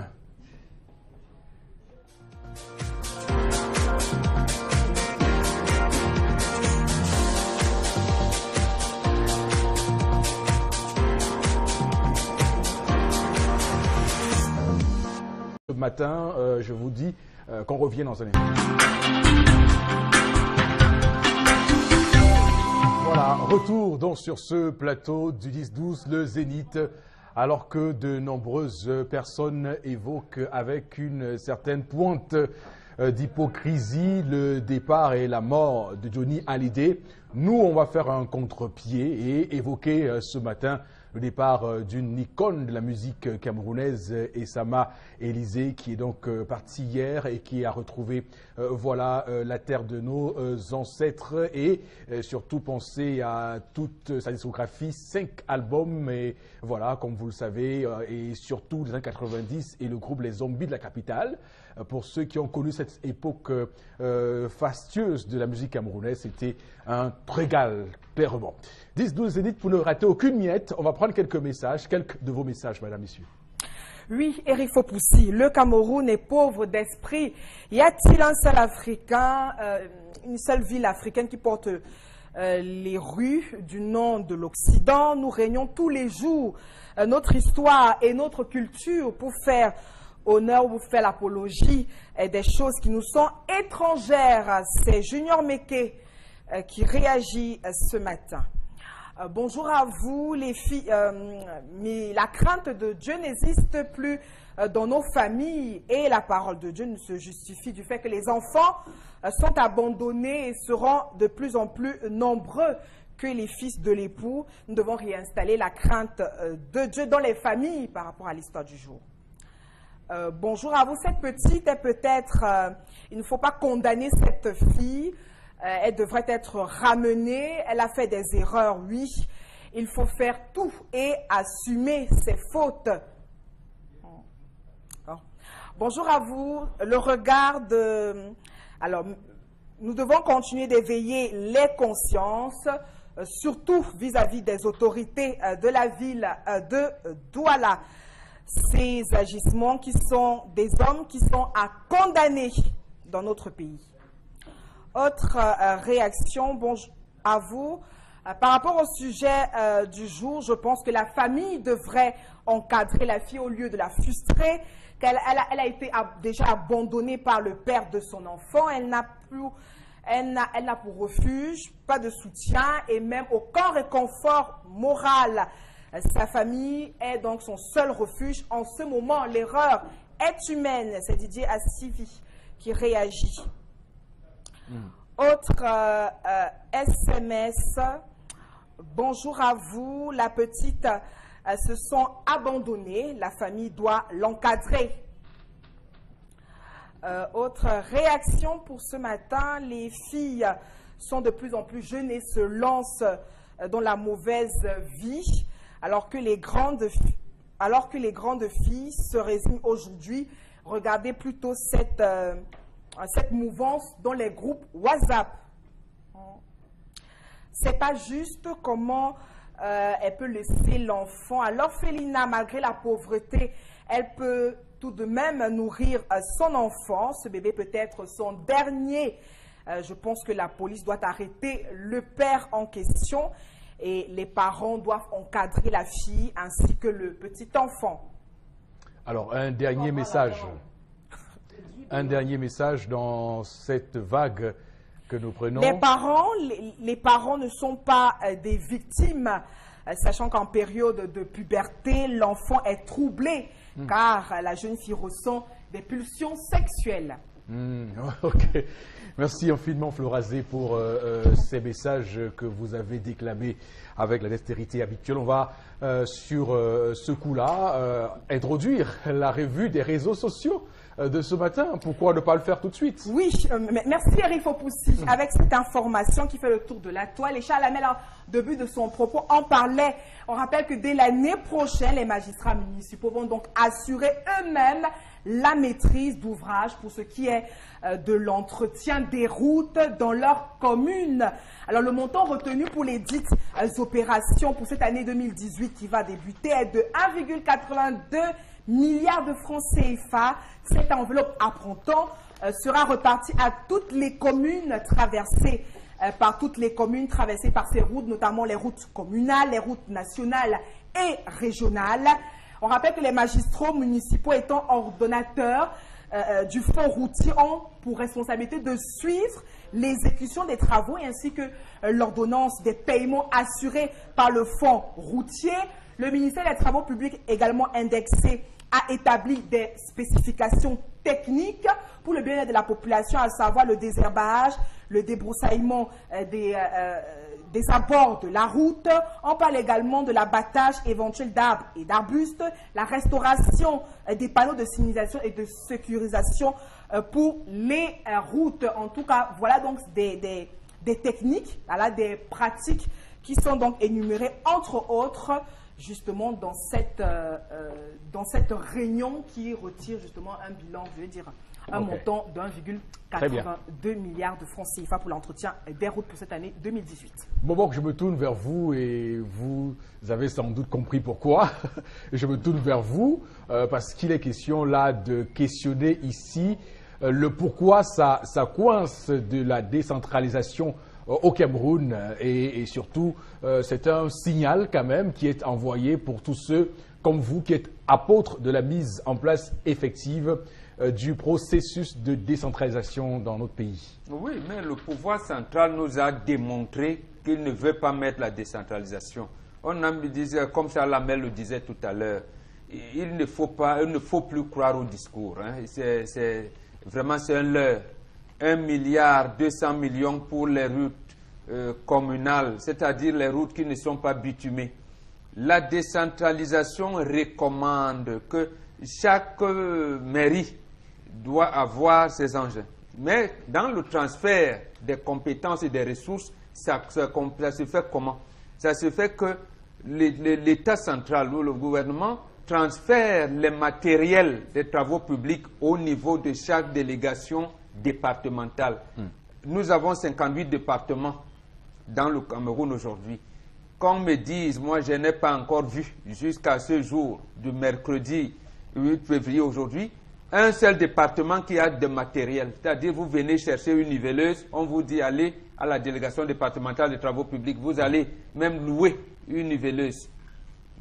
Dans ce cadre, le Premier ministre a dit dernièrement dans son allocution qui a été perturbée, avec raison, par les députés SDF dernièrement, il a dit que dès 2019, là, il a instruit de manière expresse et sur haute instruction du chef de l'État également que le ministère des Transports publics transfère dès 2019 là, ses compétences et ses ressources. Mais sauf que ce qu'il a oublié de dire, ou alors il a refusé de dire, c'est que de 2010 à 2015 seulement, on a seulement transféré 3% du budget total de cette commune-là. C'est-à-dire que pendant 6 ans, parce que euh, 2010 comprise, hein, 500, euh, 588 milliards seulement ont été transférés sur un budget global de 20 000 milliards de francs. Parce que prenez bien les postes, un budget global de 20 000 milliards, on a transféré 588 milliards. Donc moins de 3% pour 6 ans. Vous allez donc me dire aujourd'hui où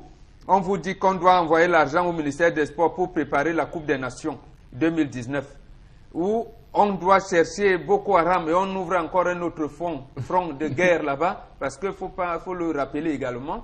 Le FMI, la Banque mondiale, nous dit que Boko Haram a absorbé beaucoup d'argent. Et c'est ça qui a ramené le pays à un autre plan d'ajustement structurel. Donc nous n'avons pas d'argent.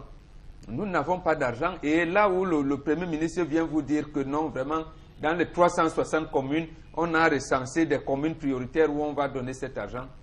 J'attends de sont- voir, j'attends de voir pour croire. Elles sont, elles sont 201 communes pour le coup. Je, Ah, voilà, mais de je les m'interroge- 201 communes, donc Voilà. ça veut dire que c'est les communes qu'on a recensées. Mais j'attends de Et voir. donc, pour je m'interroge quels sont les, euh, euh, les critères qui ont été mis en avant pour euh, Mhm. choisir ces 201 communes. Tendance, euh, on parle ce matin de la décentralisation. C'est un vœu euh, qui est toujours lancé, c'est un vœu, je veux dire, pieux, mais ça, ça n'arrive jamais au, au final. Non, on va donner. Tu sais qu'on va donner, mais sauf que ceux à qui on donne, est-ce qu'ils vont vraiment utiliser cet argent pour, pour, pour soigner l'image du pays? Hmm. Point d'interrogation. Oui. La- le budget, le, mon- le, le montant là, je n'aime jamais. Tu as dit combien de milliards, Flora? 1,82. Je sens que c'est. Quand on parle de Donc 1 milliards. milliard 82 millions. Maman, je ne sais pas si ma- je peux me toucher la qualité là dans ma vie. Rien que le montant me donne la chair de poule.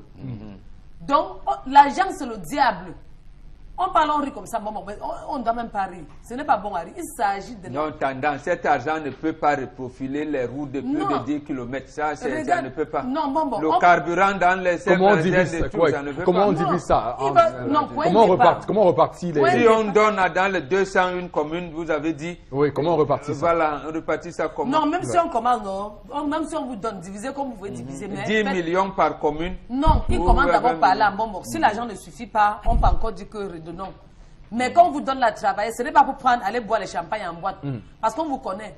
Si je vois que euh, quelqu'un du gouvernement en train de boire le champagne en boîte, je le filme et mets sur WhatsApp. Ou si moi, je l'identifie à tout le monde. On Si vous- dans cette répartition, il y a alors un délégué de gouvernement qui agit comme celui qui est à Douala, il- qui est protégé en haut, même s'il boit le champagne avec, on ne fait rien. Nous, on va toujours parler de ça. Et comme les vidéos sur, sur vous, sur Facebook. Ouais. Parce que les- sur les réseaux sociaux, maintenant, ça se dit. Et quand on parle, on voit. Donc, pardon. Chercher l'argent est dur. Le nombre de millions, c'est tout l'argent que vous cherchez. oh, mais c'est facile à dépenser, mais chercher. Oh, mais, mais, c'est- Souvent, elle parle jusqu'à ten- mener, c'est tant de mais bonbons. tendance, Mon tendance. argent, c'est la sueur de ma bouche. Un- un- 1,84 milliards de francs C'est beaucoup d'argent. Non, non, je suis désolé, je suis pas d'accord. Je Non. suis, pas d'accord. C'est, insignifiant. Pour faire la route de Photoni seulement à partir de, de Bafang, ça prend plus de 100 millions. Voilà, c'est Donc ça ne va rien faire. Ah, donc, Et, quand, et- et quand on voit à, à combien il facture le kilomètre de, de Mhm. bitume au Cameroun, Voilà. on peut également euh, s'inquiéter ce matin. Chalamel, Bonjour, Eric Foposé. Oh, bonjour. bonjour. Et bonjour à tous les téléspectateurs. Je vous ai dit que nous voilà encore. On se retrouve dans une grosse incongruité. 315 communes rurales. 1,82 milliards.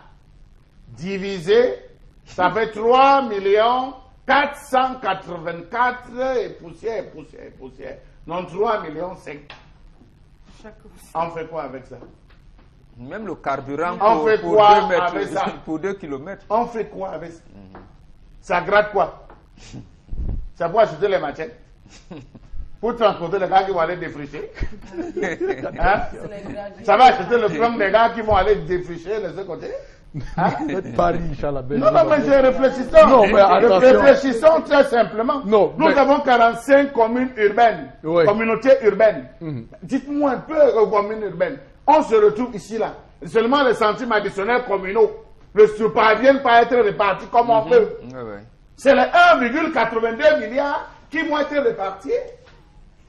Prenons donc la troisième, la plus grande commune. Elle ne, parvenait- elle ne parvient pas à connaître qui est le véritable père de l'enfant à ce jour. Mais si elle a pointé du doigt en disant c'est telle personne, je pense qu'il y a une certaine traçabilité. Il y a des parents, il y a des frères, il y a des cousins. Elle ne se contente pas, elle ne s'est pas contentée que de connaître le gars. Il y a la famille du gars. Donc il y a des méthodes, il y a des procédures qui peuvent être enclenchées pour pousser l'individu en question, en fait, l'irresponsable en question à prendre ses responsabilités en main. Donc je me dis à ce niveau que la famille est en train de baisser les bras. Il serait plutôt temps pour la famille de prendre ses responsabilités afin d'amener celui-là à pouvoir s'inscrire dans la logique de s'occuper de son enfant. Euh, D'accord, on, on comprend bien, euh, Chalamel, euh, où vous pointez le curseur de votre pensée ce matin, mais Bobok Bengan, euh, c'est clair qu'on ne va pas encourager sur ce plateau ce matin les jeunes filles à aller faire des enfants euh, des bâtards et espérer que leur famille puisse s'en occuper. Hmm, Non, on ne peut pas, on ne peut pas le faire. Mais j'allais dire, que Flora a commencé à développer ça tout à l'heure. Comment on gère la puberté Je pense que pour toutes les filles, elles savent que leur maman leur fait faisait les observations à chaque fois. Mais pour des filles têtues, elle estimait que comme sa maman, c'est une femme d'une certaine époque, comme sa maman, elle est issue d'une famille pauvre, elle ne comprend rien à rien encore, elle n'est pas allée à l'école, elle va montrer à sa maman qu'elle elle connaît, elle connaît la vie. Et malheureusement, c'est elle qui va assumer les conséquences, surtout fâcheuses, de ce qui lui arrive. C'est en fait c'est ça que, comme ça que moi je comprends l'attitude de sa maman. C'est-à-dire c'est une maman qui est déçue. Il est déçu de sa fille. Elle dit parce que dans notre tradition africaine, je pense que même en, en Occident, dans notre tradition que je maîtrise davantage, lorsqu'une fille commence à grandir, ses parents ont des yeux sur elle. Plusieurs parce que pour qu'elle ne fasse pas de faux pas. Elle ne fasse pas de faux pas. Mais généralement, lorsque la fille fait un faux pas, ça commence d'abord lorsqu'elle commence à avoir ses menstrues. D'abord, elle cache à sa maman. Généralement, elle cache. Mais lorsque sa maman commence à dire Pourquoi tu es rentré tard? Qui, qui t'a rendu visite là? Quand tu venais, on t'a dit Non, maman, toi aussi, tu, tu, tu penses que je, je, je, ne me contrôle pas. Tu penses que. Voilà. On arrive donc à des situations. De... Or, la maman sait la situation qu'elle vit. Elle ne voudrait pas que ses enfants vivent la même situation aujourd'hui. Donc, ici, pour le cas qui nous concerne, je dirais à cette fille de ne pas aller à l'orphelinat, de commencer à se battre. Parce qu'elle avait sûrement construit un monde de rêve dans sa tête. Et sa maman vend les condiments devant le Pourquoi ne veut-elle pas, ne peut-elle pas s'associer à sa maman pour vendre le même condiment? Ou bien pour ajouter à ces condiments, je ne sais pas, le charbon tombe souvent ou quelque chose de ce genre. Mais qu'elle n'envoie pas l'enfant à l'orphelinat. En, parce que, en fait, qu'est-ce qui fait que le garçon soit aussi, j'allais dire, indigne? Bon, sûrement, il y a, il y a eu aussi des, des, des, garçons qui fuient leurs responsabilités. Mais est-ce qu'on ne sait pas les, les reproches qu'il faisait à, cette, à sa copine? Peut-être que le garçon était en rivalité permanente avec les autres garçons. Il s'est dit, on a peut-être été ensemble, mais cet enfant, je le renie. Donc voilà, c'est pour revenir à une situation où on dit aux filles surtout, écoutez vos mamans écoutez vos mamans, okay. comme ça, ça nous évite des désagréments. Mmh. On aura l'occasion tout à l'heure de revenir hein, sur euh, la solution qu'on peut prendre pour sortir cette fille de son impasse euh, actuellement. Mais euh, j'aimerais qu'on reste dans le cadre des causes, de ce qui peut amener ce type de situation, parce que c'est clair que c'est un vrai sujet sur lequel on a l'obligation, même le devoir de conscientiser les jeunes enfants qui nous écoutent ce matin de leur poste téléviseur. Pour dire quoi? Pour dire que tendance, est-ce que, est que cette jeune fille, parce qu'il faut qu'on comprenne, a eu une relation normale Est-ce qu'elle a, est qu'elle a été dans une relation normale avec ce, avec, avec ce monsieur à qui elle attribue la paternité de, de, son, de son enfant? Relation normale, c'est-à-dire? C'est-à-dire, ben, ils étaient connus, ils, ils, ils, se, ils, se fréquentaient. Est-ce qu'ils étaient connus de la famille? Est-ce que parce, parce que quand, quand on décide de faire un enfant avec une fille, je suppose quand même qu'il y a des préalables. Euh, des préalables. Non, à cet âge-là, je ne pense pas. Je, sinon, la maman n'aurait pas demandé. Parfois, quand on a 19 à 20 ans, quand on a son petit ami, on cache, on a peur. Mm -hmm. Les enfants d'aujourd'hui vont tout nous montrer. À 20 ans? Oui. Mm. Quand j'avais 20 ans, je ne savais même pas si c'était fille. On me disait, tu es fille ou tu, tu es garçon, je disais seulement que je suis un homme. Parce que je ne distinguais pas mon sexe. À nos jours-ci, les films, Facebook a tout traumatisé les enfants. Oui. Parce qu'à l'heure-ci, je dis encore tout, les, parce que ton âge là, tu as l'âge de mon deuxième enfant, ma, ma chère fille. Je t'ai même dit en bas tout à l'heure. Non, tu as bien fait. Je ne te juge pas, comme tu dis que tu allais laisser l'enfant à l'orphelinat, mais ça dépend. Au lieu de faire des avortements, ou encore au lieu d'aller jeter les enfants dans la rue, comme on trouve souvent les enfants, c'est aussi mieux d'aller laisser l'enfant à l'orphelinat. Mais pour le moment, je dis encore non, parce que les parents vivent encore. De deux, je sais que ton gars, le père de ton enfant, me regarde. On les appelle les hommes diables.com. Quand à nos jours, il y a les préservatifs, ça ne coûte pas cher. Quand tu te couches avec, au lit avec une fille sans préso, tu t'attends à quoi? Que demain, elle vient, qu'elle vienne te dire que bébé, tu es très beau, j'ai aimé ce qu'on a fait. Attends aussi que demain, qu'elle vienne te dire que bébé, comme tu vois là, je n'ai pas vu le mandra. Bébé, comme tu vois là, j'ai eu un retard. Et apprenez à assumer vos responsabilités. Les parents aussi ne doivent pas rejeter l'enfant comme ça parce que quand l'enfant naît, ce n'est même plus votre enfant, c'est l'enfant de tout le monde. La boîte de riz que maman saute à la maison, tout le monde peut manger. Mm -hmm. Ma chérie, ce que je vais te dire, je prends sur moi. Je vais te donner un fonds de commerce de 5 000 francs. Oui. Les 5 000 francs là, tu vas descendre au marché Sandaga. Parce que on vous connaît, vous les jeunes filles. Je vais te donner 5 000 francs là, tu vas dire qui une belle fille comme moi, allez vendre les tomates. Tu vas vendre ça coûte que coûte. Tu descends au marché Sandaga. Tu achètes un cajot de tomates. Tu descends au marché nous des dos, tu mets 4 tomates à 200 francs. Ça dépend combien tu vas prendre le cajot. Ainsi de tu vas garder tes petites économies et faire manger à l'enfant. Ce n'est pas que tu vas venir, que tu vas laisser l'enfant à quand les parents vivent. Non. Les chers parents ne frustrons plus nos enfants. Parfois, si vous voyez une jeune fille aller mettre la corde au cou, c'est à cause des paroles. Et la bouche qui parle trop détruit. Même si mon enfant a. Je ne peux même pas dire. Si mon enfant a 20, 20 ans, même si elle a 19 ans, si elle vient me dire qu'elle est enceinte, vraiment elle va accoucher. Et quand elle va accoucher, là, même si c'est quoi qu'elle tripote à la maison, tout le monde va manger. Oui. Tout le monde va manger. Et la femme ne se lève pas le matin pour dire que je suis enceinte de telle personne. C'est chaque femme qui connaît le père de son enfant. Que le gars nous arrête ça. Un autre gars va refuser parce que non, je ne l'aimais pas, je ne l'ai pas aimé. Alors que dans son cœur, il sait que c'est son enfant. Pourquoi? Très bien, très bien. On va surtout dire ce matin que euh, Tendance insiste que c'est que c'est une jeune fille, Oui. une enfant, et elle nous dit en même temps que Elle est naïve. elle est naïve. À, à son âge, Donc- je ne sais pas si c'était femme ou garçon. Hein. Ok. On me disait que, que tu es fille ou tu es garçon. Je disais seulement que je suis un garçon. Oui. Ok, Chalamel, euh, un Je dernier pense mot que- sur je le pense sujet. que c'est c'est l'occasion d'interpeller ici les hommes de loi.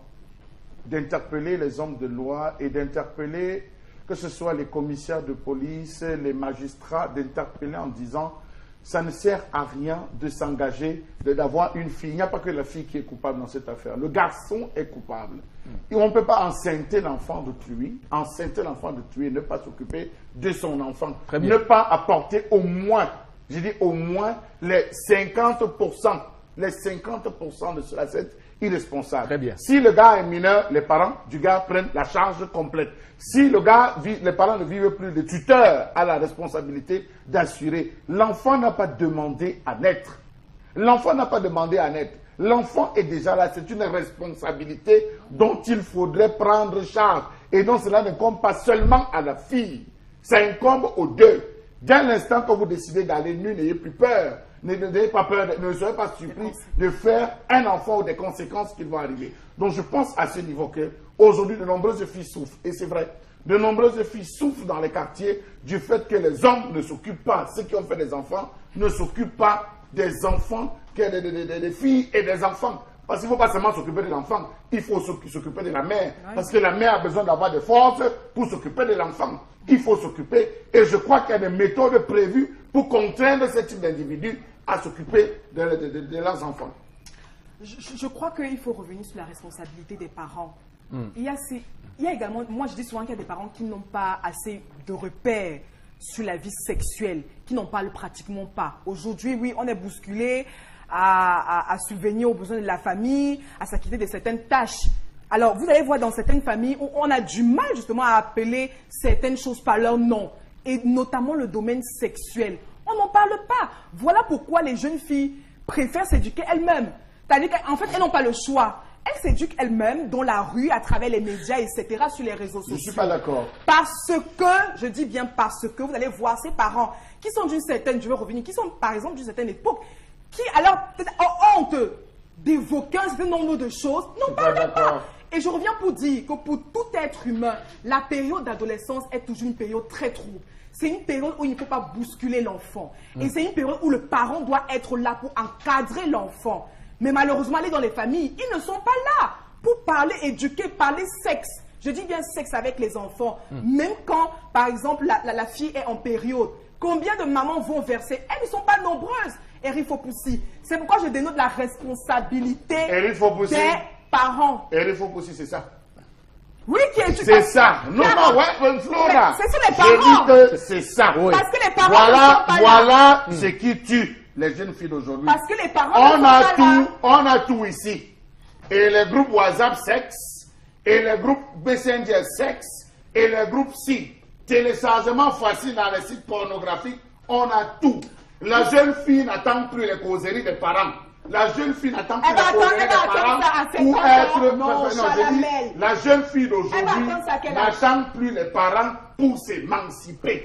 La jeune fille d'aujourd'hui est dangereuse. Et je vais vous dire, les jeunes filles de 12 ans, 13 ans sont plus dangereuses que les filles de 28 ans. Je les filles de 28 ans parlent, per- permettez-moi Flora, les filles de 28 ans parlent même avec beaucoup de... Elles sont très modérées. Les jeunes filles, vous voyez les jeunes filles aujourd'hui, elles sont les premières à vous attaquer. Non, je- j'estime que les parents, les parents, lorsque les vous sentez, Les parents sont les lorsque victimes. les parents sont Flora- ça. Flora Ah, ah, sont les ah, merci, merci, Flora merci, Les parents sont. Vous aurez l'occasion de parler tout à l'heure. Lorsque vous voyez une jeune fille, votre fille à la maison, qui commence à dire je ne mange plus, vous avez préparé le compte, ça vraiment moi cette histoire, elle va s'acheter, elle commence à rentrer. Elle est en train d'arracher son indépendance, vous la voyez venir.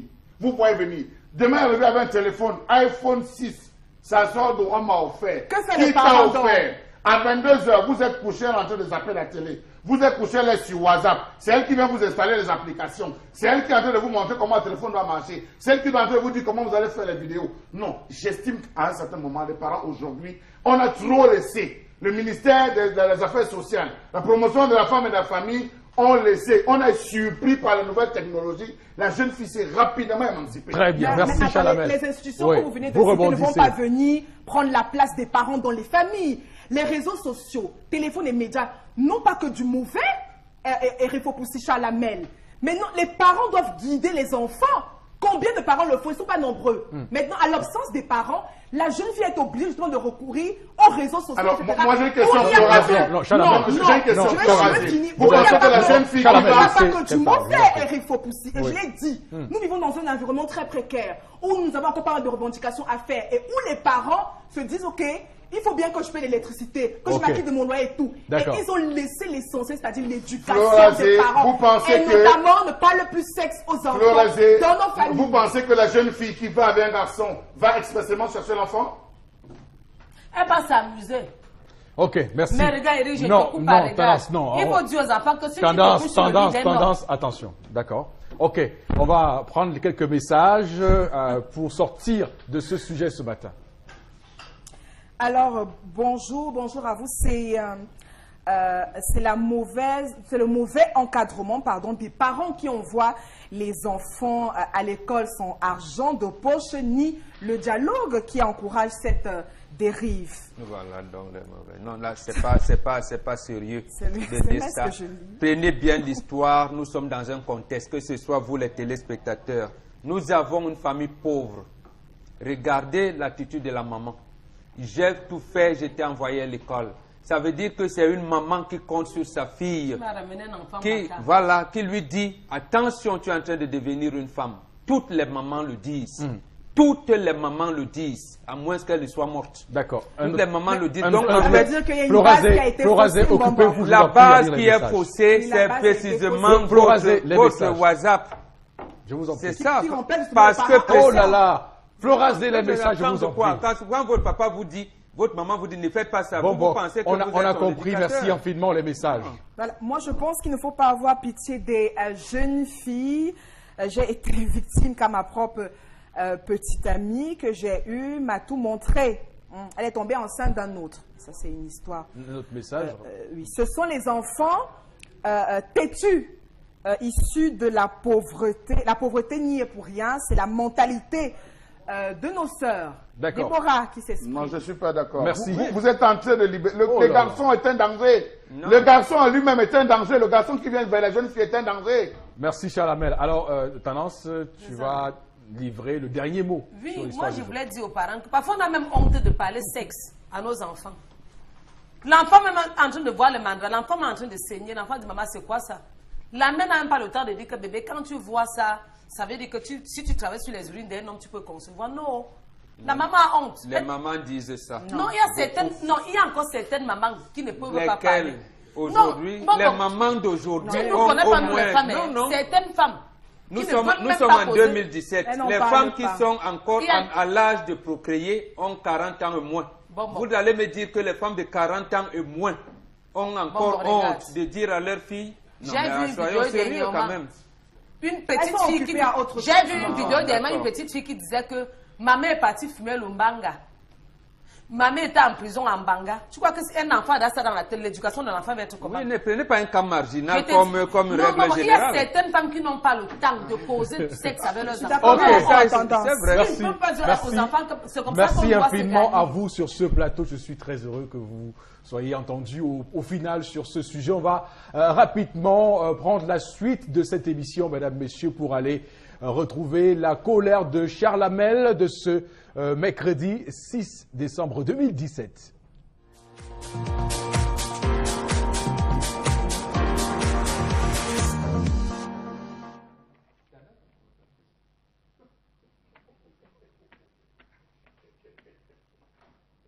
Je m'interroge ce jour sur la question de la communauté urbaine de Douala Qu'est-ce qui ne va pas à la communauté urbaine de Douala?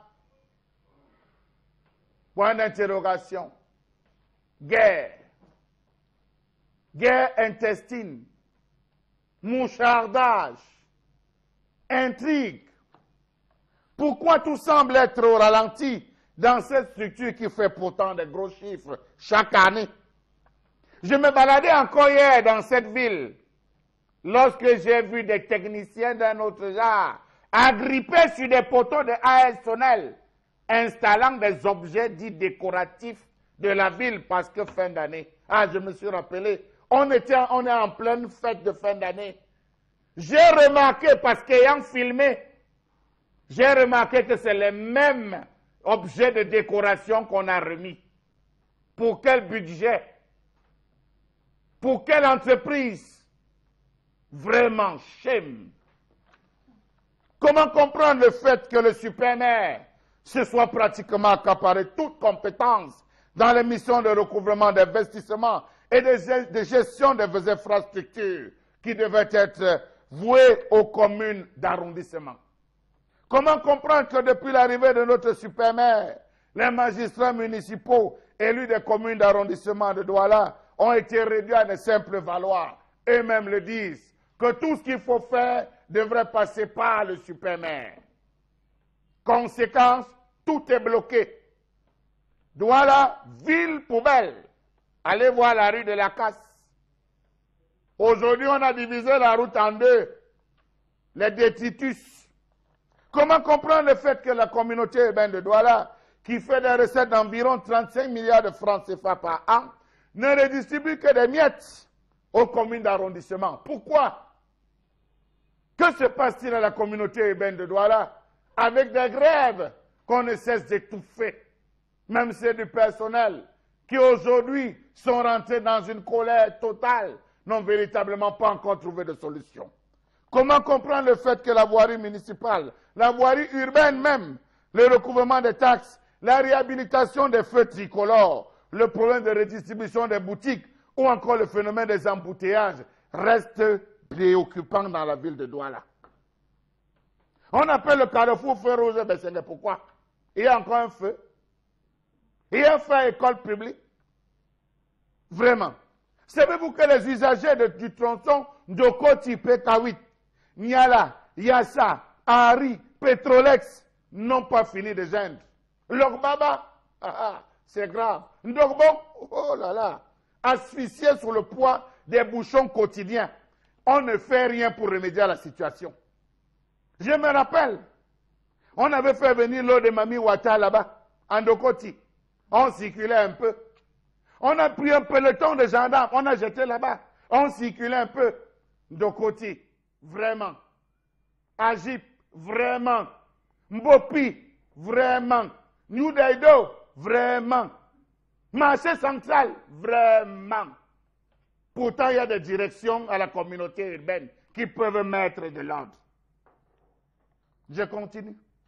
Comment comprendre que malgré les dispositions prises par Isaac Camrien de chance, que ce soit au centre de la ville ou des quartiers populaires, les populations balancent les ordures dans la nature sans se soucier de la nécessité de vivre dans un environnement propre et sain. Pourtant, il y a une direction de lutte contre les désordres. On peut gérer cela avec des sanctions et des punitions. Comment comprendre le fait que la ville de Douala, tout entière, soit plongée à ce jour dans une insalubrité chronique Faites le tour des 11 quartiers de, à Douala, premier. 11 quartiers à Douala, premier. 17 quartiers à Douala, troisième. 7 quartiers à Douala, quatrième. 10 quartiers à Douala, cinquième. Ce qui fait un total de 45 quartiers et de 250 rues. J'ai calculé. Vous comprendrez de quoi je parle. Saleté, agression, insécurité, même la prise en charge, c'est véritablement obsolète. Ya, monsieur le délégué, ya. Vous faites quoi? Vous circulez comment pour rentrer chez vous? Vous rentrez comment chez vous, monsieur le délégué? Regardez la ville. Demandez ce qu'ils ont fait de 167 garages instantanés d'auto et de motos. 310 véhicules abandonnés dans Douala. Mais garez mal votre véhicule, on vient, on met les sabots. Pourtant, il y a des véhicules qui sont à la garée depuis des années. 200 poteaux Et candélabre abîmé, c'est là. 168 rues en dégradation partielle au total. 36 plaques publicitaires au sol. 18 plaques de chantier vraiment achevées. 185 systèmes d'assainissement dysfonctionnels à Douala. 58 panneaux abandonnés. Les banderoles, alors n'en parlons plus. C'est la fête de fin d'année. Vous montez seulement sur le boulevard. Le boulevard Leclerc, je pense bien, vous allez voir Missengo. C'était le premier, c'était le 1er décembre. Nous sommes le 40e aujourd'hui, c'est toujours là. Arrivé à l'école publique, vous allez retrouver encore des banderoles. Vous faites quoi? Ah, faut possible continuer. Charles Lamel, merci beaucoup pour cette colère qui nous permet de toucher du doigt euh, les réalités moroses hein, d'une ville, celle de Douala. Euh, surtout que nous étions en 67 avec la commune urbaine de 74, commune urbaine de, Douala. Et en 87, on nous a annoncé euh, la création de cette communauté urbaine de Douala comme étant la clé de voûte et l'amélioration d'une gestion plus saine de nos villes et Douala euh, entraînant justement ce sillage-là. Bon, Bengan, qu'est-ce qui fait en sorte aujourd'hui que les lignes ne puissent pas bouger? Depuis tout ce temps, depuis toutes ces réformes institutionnelles euh, mises en place Non, mais parce qu'il y a un super maire. Le délégué de la communauté urbaine de Douala est un super maire. Il, euh, il pense qu'il est obligé, il n'est pas obligé d'appliquer les lois et tests de la République, c'est tout. Et rien ne, lui fait. Vous, allez faire comment? Quand quelqu'un vous dit que les lois de la République, les tests réglementaires, je m'en fous, alors on reste là. Donc ça, ce n'est plus un problème de droit, c'est un problème politique. Et il est là. Et il a donc un encadrement dans la technostructure nationale qui l'encadre et qui le maintient là, c'est tout. Hmm. Et quitte à rester dans le désordre urbain, dans la police municipale est inexistant et tout, et tout. Donc il est là, je suis au-dessus de la loi. Est-ce que vous, qui, peut me toucher Est-ce que vous dites qu'il y a eu une différence entre, par exemple, l'époque d'Edouard Ekoto et son époque Dr. Christonet Vous vous dites quand même qu'il y a eu, de par leur stature, de par leur, leur implication personnelle dans euh, la, conduite des, différents dossiers Absolument. Je pense même que depuis, je peux aller commencer par, euh, comment l'appeler le, celui qui est aujourd'hui Toboyum. Voilà, Toboyum, lui, eux, ils n'avaient pas suffisamment de moyens. C'est-à-dire qu'à l'époque, le, Cameroun est vraiment, tous les projecteurs sur le plan économique sont rouges. Nous sommes sous ajustement structurel de manière beaucoup plus euh, vivace encore. Et lui, il a la chance que on arrive, il prend les, les rênes lorsqu'on est, comment vous appelez ça, euh, on a déjà planché le tap de, point d'achèvement. Voilà, on est déjà au niveau du point d'achèvement. Hmm. PPT. Donc, les ressources financières notamment arrivent. C'est la même chose avec celui de Yaoundé, son confrère de Yaoundé, qui lui, il se déploie. C'est-à-dire, il faut dire une chose, c'est que les communautés urbaines ont les mêmes institutions que le gouvernement pour l'appel de fonds, notamment, et l'accompagnement des projets. Mais celui-ci, Commençons d'abord par le licenciement et les délégués du personnel. Hmm. La loi recommande que pour licencier un délégué du personnel, il faut requérir l'avis du ministère du Travail. on lui a dit non, vous ne pouvez pas. Il a dit je m'en fous de vous, monsieur le ministre, je les licencie. Et il les a licenciés. Hmm. Donc c'est pour ça que quand vous avez donc votre, j'allais dire, celui qui est le garant de, du travail au Cameroun, vous lui dites que je m'en fous de vous et de, vos textes. Bon, ça veut dire qu'il y a plus grand que le ministre qui protège celui-là. Hmm. Et vous ne faites rien. Vous allez faire comment? Noël arrive. Est-ce que le financement et le, dispositif mis en place pour les guirlandes en, en décembre 2016 était gardé ou bien chaque année c'est un nouveau marché C'est la question on s'interroge, puisque l'avis de certains euh, de ses collaborateurs nous disent que en fait, on avait enlevé certains plaques, on les replace, mais on fait comme si c'était un nouveau marché. Tout à fait. voilà, voilà la situation. Donc, en mm. fait, on, dans chaque programmation, c'est un nouveau marché. Et on ne va rien lui faire. Et aux mêmes entreprises, aux mêmes structures. Je pense que c'est si fort qui avait gagné la dernière fois entre Douala et Yaoundé. Hum. Donc quand vous dites, et, et ça, ça j'ai- on, a, bien l'impression dans vos déclarations, dans le sentiment qu'il il y a de l'argent. Et d'ailleurs, quand on regarde l'assiette des recettes euh, de la communauté urbaine de, Douala, on parle euh, des centimes additionnels communaux, les chiffres sont euh, à, faire euh, euh, pâlir. On a également euh, les, recettes fiscales, euh, les, les- les produits d'exploitation des domaines et des ressources. Alors, on sent bien qu'il y a des poches d'argent, de revenus, il y a vraiment de l'argent. Florazé, où va l'argent pour qu'on se retrouve euh, au final ce, matin à, à- à- faire l'inventaire de tous ces problèmes, de tous ces projets euh, qui sont soit mal ficelés, mal menés, mais qui ne sont pas au, final bien, bien, euh, bien amenés. C'est la question qu'on se pose, c'est la question que tous les Camerounais, tous les habitants même de la ville de Douala, et toutes les opérations relatives à l'assainissement, au programme de la communauté urbaine qui ont été entrepris, où sont-ils? C'est-à-dire les opérations, finalement, de façon pratique, ne sont pas palpables. Alors, en 2016, justement, on avait voté un budget très alléchant, 57 milliards de francs CFA. On a investissement pour la ville de Douala avec 256 projets. Il y a tout un aménagement sur le plan euh, structural de la ville de Douala, sur les papiers de façon théorique, qui est installé.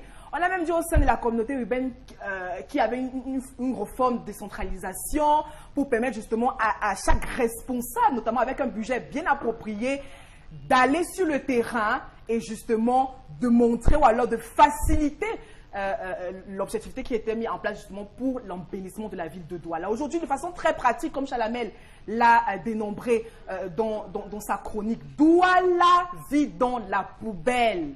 Douala vit dans la poubelle. Allez visiter la ville de Douala, elle n'est plus attrayante.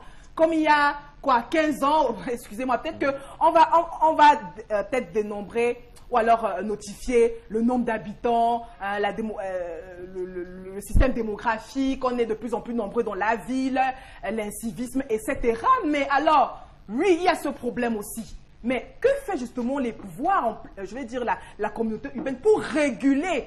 Alors, nos agents, sur le plan pratique et vital même, sont comme des charognards dans la rue pour agresser, etc. Donc, on voit plus les, les agré- les- les- les agressions de ces personnes que le travail qui doit être établi. Nous souffrons justement que sur le plan des routes, le plan d'aménagement des marchés et autres, les Camerounais souffrent à ce niveau. Oui, vous pouvez implémenter une discipline, des principes très stricts. Mais aussi, il faut que le travail suive. Il faut bien qu'on vive justement cet assainissement de Très façon bien. très pratique. Très bien. Alors, euh, tendance, on a le sentiment quand même qu'il y a des projets qui sont mis en place, des projets quand même qui sont, euh, qui sont vantés de, de manière euh, euh, très publicitaire, à grand renfort de publicité. Est-ce qu'on peut se dire ce matin sur ce plateau de Equinox Télévision, dans le Zénith, que Fritz Tonnet qui est le délégué du gouvernement auprès de la communauté urbaine de, de Douala, a failli, A failli comment? A échoué Ah, parce que tu as parlé en gros français là, je n'ai rien compris. Vraiment, eh, moi-même, oui, il a failli. Ah, souvent, je supporte, mais le tout, c'est quand c'est trop, c'est laid. Après, on va dire qu'Equinox bavarde trop. Donc, c'est Equinox qui a laissé les ordures là-bas à la gare de Deben depuis 2016 qu'il parle de ça. Descend à la gare de Deben Bonbon.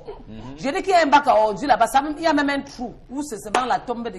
Donc, un trou, Flora, ça fait casse, seulement. tendance ici à la casse aussi. non, on commande d'abord par la gare de Neben. Donc, ça s'affaisse. hein. Ça Plus s'est formé. affaissé et chacun vient verser les ordures là-bas. Je me demande si c'est la communauté urbaine qui doit s'occuper ou c'est Isaac. Parce que pour finir, même, je m'embrouille. Non, C'est la communauté urbaine qui a Isaac Ah, donc c'est la communauté urbaine qui est le grand frère de Isaac. Oui, oui. Donc il donne les ordres, quoi. Mhm. Papa, commu- communauté urbaine, il faut donner la les ordres pour qu'on nous nettoie la ville de Douala. Il y a des, les gars même qui ont commencé à faire challenge poubelle. Les gars se filmaient pour mettre les réseaux- sur les réseaux sociaux. Ça n'a rien fait à personne. Pardon. On a eu assez de problèmes dans notre pays comme ça. Même rien que la propriété. C'est pour ça que tu vas voir les gens tous les jours malades. Tu arrives à l'hôpital, on te dit tuberculose chronique, typhoïde crâniale. C'est les docteurs qui savent de quoi je parle. Les ceci, les cela, papa, pardon. On- oui, on ne parvient pas à manger. Ça passe, leçon. Mais les ordures, au marché central, c'est le terminator. Au Grand Moulin, c'est le terminator. Partout où on vide les ordures. Mais C'est l'image du Cameroun. Quand c'est comme ça, les, les étrangers se moquent de nous. Les petits pays qui sont en Afrique nous dépassent. On, à nos jours-ci, là, non, au 21e siècle, ça, non, bon, bon. Mhm. Au 21e siècle, on ne devrait plus vivre ça. Ça, c'est un pays qui doit. Très bien. Quand tu arrives au Cameroun comme ça, tu te filmes même tu dis qu'on est ici au Cameroun et que tu m'aimes sur les réseaux sociaux, qu'on soit fier. Alors, Pas qu'on va te dire Cameroun, le pays poubelle. Très non? bien, tendance Kenyé. Alors, Chalamel, euh, lorsqu'on évoque ce sujet hein, du, du mandat et lorsqu'on questionne l'inventaire de l'action de l'actuel délégué du gouvernement pour la communauté de Douala, on nous avance qu'il y a des grands projets qui ont été menés, même s'il y a quand même un peu de mauvaise foi là-dedans. On nous parle des pénétrantes est et ouest de la ville de Douala. On parle également du second pont sur le Vouri qui rentre dans le cadre d'un bilan qu'on va dire. On parle aussi euh, de l'aménagement de la cité du, cinquantenaire, mais aussi des, des- grands marchés qu'on a essayé de mettre en place. Est-ce que vous vous dites que c'est une fuite en avant pour ces gens-là qui refusent, qui font du déni et qui refusent de voir que tout va mal? Si vous voulez vivre en paix au Cameroun, n'écoutez pas les discours. N'écoutez pas les discours de nos Cameroun. Vraiment, vous aurez mal à la tête. Avant tout ce que tu disais là, Eric Foposition parlait des taxis verified. C'est où? Avant Taxi Verified, on a parlé de euh, de- du concept car dispo avec les applications qu'il fallait télécharger. À l'immédiat, vous rentrez dans l'application, vous avez le numéro de téléphone, vous appelez. Aussitôt, il y avait un taxi, un car pour vous, pour venir vous chercher un véhicule. On a lancé le concept Taxi Verified avec une inauguration en grande pompe avec le gouverneur du littoral à la canne féminine. On a regroupé les taxis. On arrive dans la communauté Bamoun, on dit vous avez combien de taxis pour avoir des 100 sorties. On va dans la communauté, si vous avez combien de taxis sortis, on vient à l'union, mais seulement taxi verified, verified. Appelez, on vient vous chercher. Vous connaissez comment on agresse dans les taxis aujourd'hui? C'est à peine à Yaoundé qu'on a, essayé- on a tué cela à Yaoundé, Ouais. avec, je pense, que le GPIC ou le GSO, on a mis la main sur un groupe de personnes. Vous pouvez imaginer? Ça, c'est ça doit être un vrai délégué qui devait travailler sur ça. Permettre la sécurisation. Même l'éclairage, avant nous l'éclairage. Je me suis amusé à passer du côté de Socature. J'ai vu des beaux bus, il y a des beaux petits bus, des beaux petits costers neufs. Oui. Ça ne circule pas pourquoi C'est pour les militants C'est pour qui? Je me suis posé la question. N'est-ce pas le même délégué nous avait promis une machine à faire le goudron qui devait colmater rapidement les trous On avait présenté cela. C'est où, monsieur le délégué? C'est où? Mais si on sait qu'il est 10 h mais c'est où? C'est où? On est appelé à s'interroger là-dessus. Activité illégale dans cette ville. Ouais. Affichage de publicité. Regardez comment vous garez même votre voiture, vient encore. Comment les marchés sont donnés d'ailleurs Hein? Les Comment- boutiques même, voilà donc pas qui bloque. Les boutiques, ça se passe comment dans ce marché? Le marché central est au bord de l'implosion. Parce que des individus ont récupéré ici, ils ont donné là-bas, on a sous-traité ici, on a récupéré. C'est les mêmes clans. Aujourd'hui, voilà Bonaparte, moi, qu'on veut donner à Sylvie Blocher. La blanche là. Sylvie Blocher. Et ça m'a dit qu'il va On veut donner, à, voilà, on veut donner ça à une blanche. Sylvie Blocher avait une pancarte. Je sais que je n'ai pas le droit, mais je m'excuse. Elle a du quoi là-bas Il manque un notable ici à Douala à qui on peut donner. Regardez le rond-point, le grossier rond-point. Vous voyez comment les policiers souffrent le matin? Oui. Les policiers souffrent le matin à feu rouge et baissé avec le grossier rond-point pour pouvoir diriger la circulation. Feu rouge et c'est grave. Le ministre de la Santé lui-même est complice. Il est complice. Et là, je l'index. On dit que les, médi- les médicaments de la rue, Ça tue. les médicaments de la rue, le Non, gazon, c'est- c'est c'est la quoi? bonne pharmacie. Le gazon, c'est quoi? Le gazon au c'est- marché central, c'est quoi? Ce sont les médicaments de la rue. C'est les médicaments Mais on sait que c'est Ils sont installés c'est où? la pharmacie. Les médicaments de, la- de la rue tuent. Les gars qui sont au gazon au marché central, on ne les voit pas. Vraiment, excusez-moi. Éviter d'écouter les discours. Vraiment. Michel Lamel, Évitez. regarde, le nom que tu as prononcé là, où c'est Sylvie Blanchard. Sylvie Blocher. Et c'est- André Blaise et Samad qui va mourir que pour ça. Que- comment on peut prendre une blanche, on vient Non, mettre non, le il, monument a, il, a, il a raison, tendance. Vous ne pouvez pas avoir un autochtone. Qu'il avait mis un monument, ici, La, on a- la on a détruit. décentralisation voudrait qu'il y ait un autochtone comme président de région. Vous avez un va. au rond-point, c'est le nom qu'on lui a donné, un Djundju au rond-point. Vous ne pouvez pas faire un monument de Mangabel, de Ngosoding ou de Tud. Vous allez prendre une française pour venir encore mettre ici. que- Elle vaut quoi? Elle vaut quoi Pour dans une ville où où Mniobe a existé, où tous ces gens dont on parle? Voilà. Non, mais en- entre nous, quand Hmm. même. Faut- Bon, faut en, réalité, un tout petit peu en réalité euh, le, le problème qui est posé ce matin, et lorsqu'on parle sur, euh, sur ce plateau, Bobo, je parle sur votre contrôle forasé, Chalamet c'est qu'effectivement, je n'arrive pas à comprendre pourquoi un monsieur qui a autant de pouvoir, un délégué qui a autant de pouvoir, soit nommé. Donc, s'il avait été euh, fait comme partout dans les grandes villes, comme le maire de New York, le maire de Paris, le maire de Londres, et qu'on ait un maire, un super maire de, de Douala qui soit élu, euh, donc je pense que ces gens-là euh, réfléchiraient avant de pouvoir agir au quotidien. Et ça m'avait mis la- le, monument de John Koufonche, si on a cassé.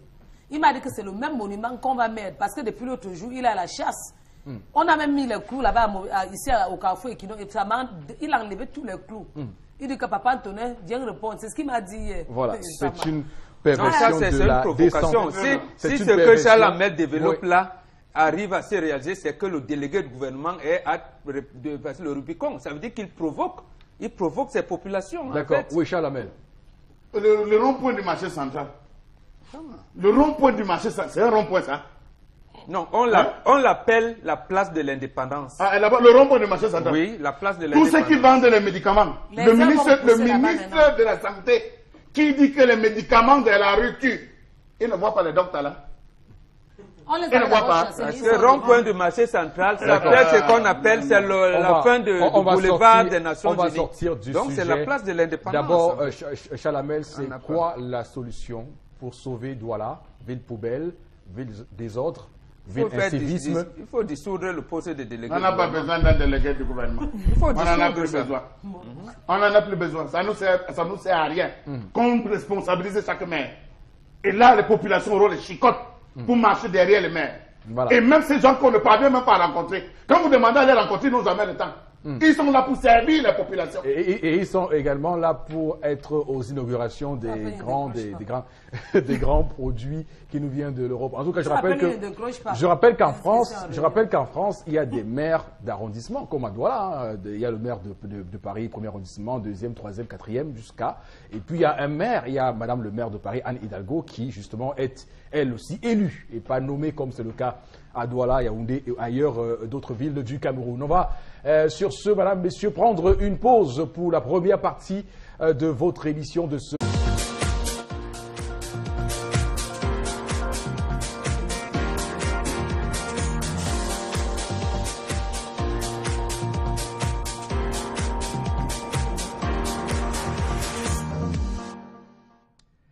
Eh bien, le bonjour à vous, mesdames, messieurs, et bienvenue sur le plateau du Zénith de ce mercredi 6 décembre 2017. Évoquons cette crise anglophone pour démarrer ce programme en dénonçant, mais surtout en annonçant aussi que la Commission nationale des droits de l'homme et des libertés a parlé hier, a euh, donc demandé au gouvernement de mettre en place une enquête pour déterminer les responsables des actions commises contre les militaires et policiers euh, dans les régions anglophones du Cameroun. Une sortie qui euh, interroge surtout lorsqu'on sait que euh, la commission est une institution étatique et on verra bien comment euh, ça se règle entre le gouvernement et cette commission si euh, cet appel-là aura euh, une véritable solution, un véritable poids euh, lorsqu'on sait que déjà est engagée une opération de sécurisation ou bien de militarisation, selon euh, qu'on soit d'un bord ou de l'autre. euh,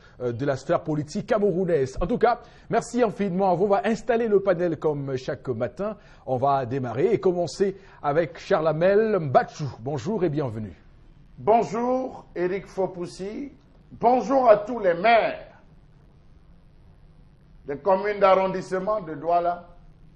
1,82 milliards pour l'entretien des routes. C'est bien, mais c'est l'an prochain. Entre-temps, on fait comment? Monsieur le super maire, on fait comment?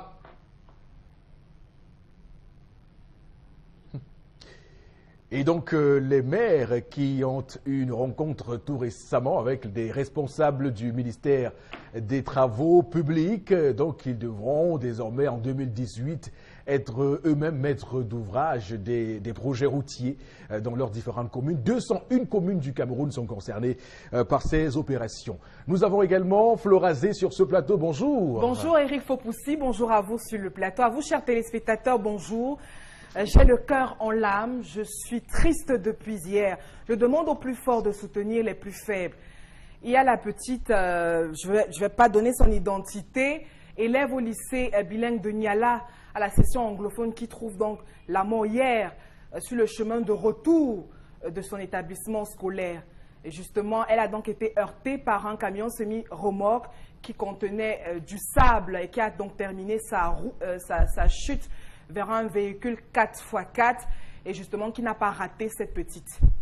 Donc j'ai une pensée très profonde pour la famille endeuillée et aussi aux parents d'être très attentifs par rapport à l'éducation des enfants. Je vois, je vois des petits enfants justement traverser la route tout seuls. Ils sont âgés entre 5 ans et 8 ans, sans défense sur la route. Avec cette période festive, les routes qui sont bondées de monde, vraiment que les plus forts soutiennent les plus faibles. Le message est bien passé ce matin, rassurez-vous, Florazé. On va également euh, dire bonjour et bienvenue sur le plateau à Bombok Bengan. Bonjour Eric Foupossi, bonjour à nos téléspectateurs. Les villes anglophones du Cameroun, dans nord-ouest et sud-ouest, sont-elles militarisées ou sécurisées? Le gouvernement dit qu'il n'a pas militarisé ces zones, il a sécurisé les zones. Merci. Donc, je l'ai euh, suffisamment dit ce matin, Bombok, c'est selon qu'on soit d'un côté ou de l'autre hein, de la sphère politique euh, camerounaise. Donc, on parle de militariser ou de sécuriser. En tout cas, le lexique, le vocabulaire est de sortie pour expliquer ce qui se passe réellement euh, dans les deux régions anglophones du Cameroun et surtout penser au général Elokobi qui a été donc envoyé en mission pour sécuriser ou militariser, ça n'est pas encore euh, du bord dans lequel on se trouve, ces deux régions, ou bien le sud-ouest du Cameroun et la Magnou, euh, où il est originaire, hein, ce directeur euh, central au secrétariat d'État à la, gendarmerie, qui est donc ainsi lancé dans le, dans le chaudron de la crise anglophone et surtout pensé également à un autre monsieur qui a réagi hier et qui a donné un avis quand même qui pourrait être interrogé ce matin. C'est chez Mita Divine Banda qui est le président euh, de la Commission nationale des droits de l'homme et des libertés, euh, qui donc appelle le gouvernement à mener des enquêtes, euh, qu'à faire ce, que on, assiste, ce à quoi on assiste actuellement. Ce discours va en guerre, chasse à l'homme.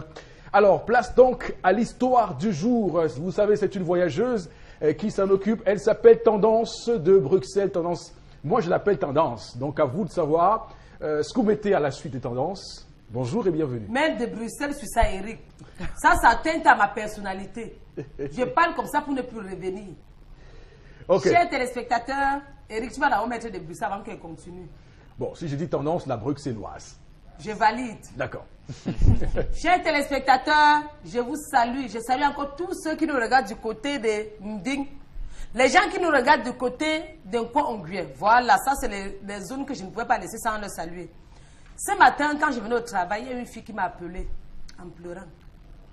Elle nous regarde. Elle me dit, parle de moi, pardon, tendance. Pardon, master, parle de moi, c'est grave. J'ai dit, ouais, maman. Elle avait un bébé à main, un bébé de 8 mois. Elle me dit, dis-moi un peu, tata. J'ai dit, comment? Explique-moi clairement. Allons tout droit parce que je suis pressée. Je vais parler de ça.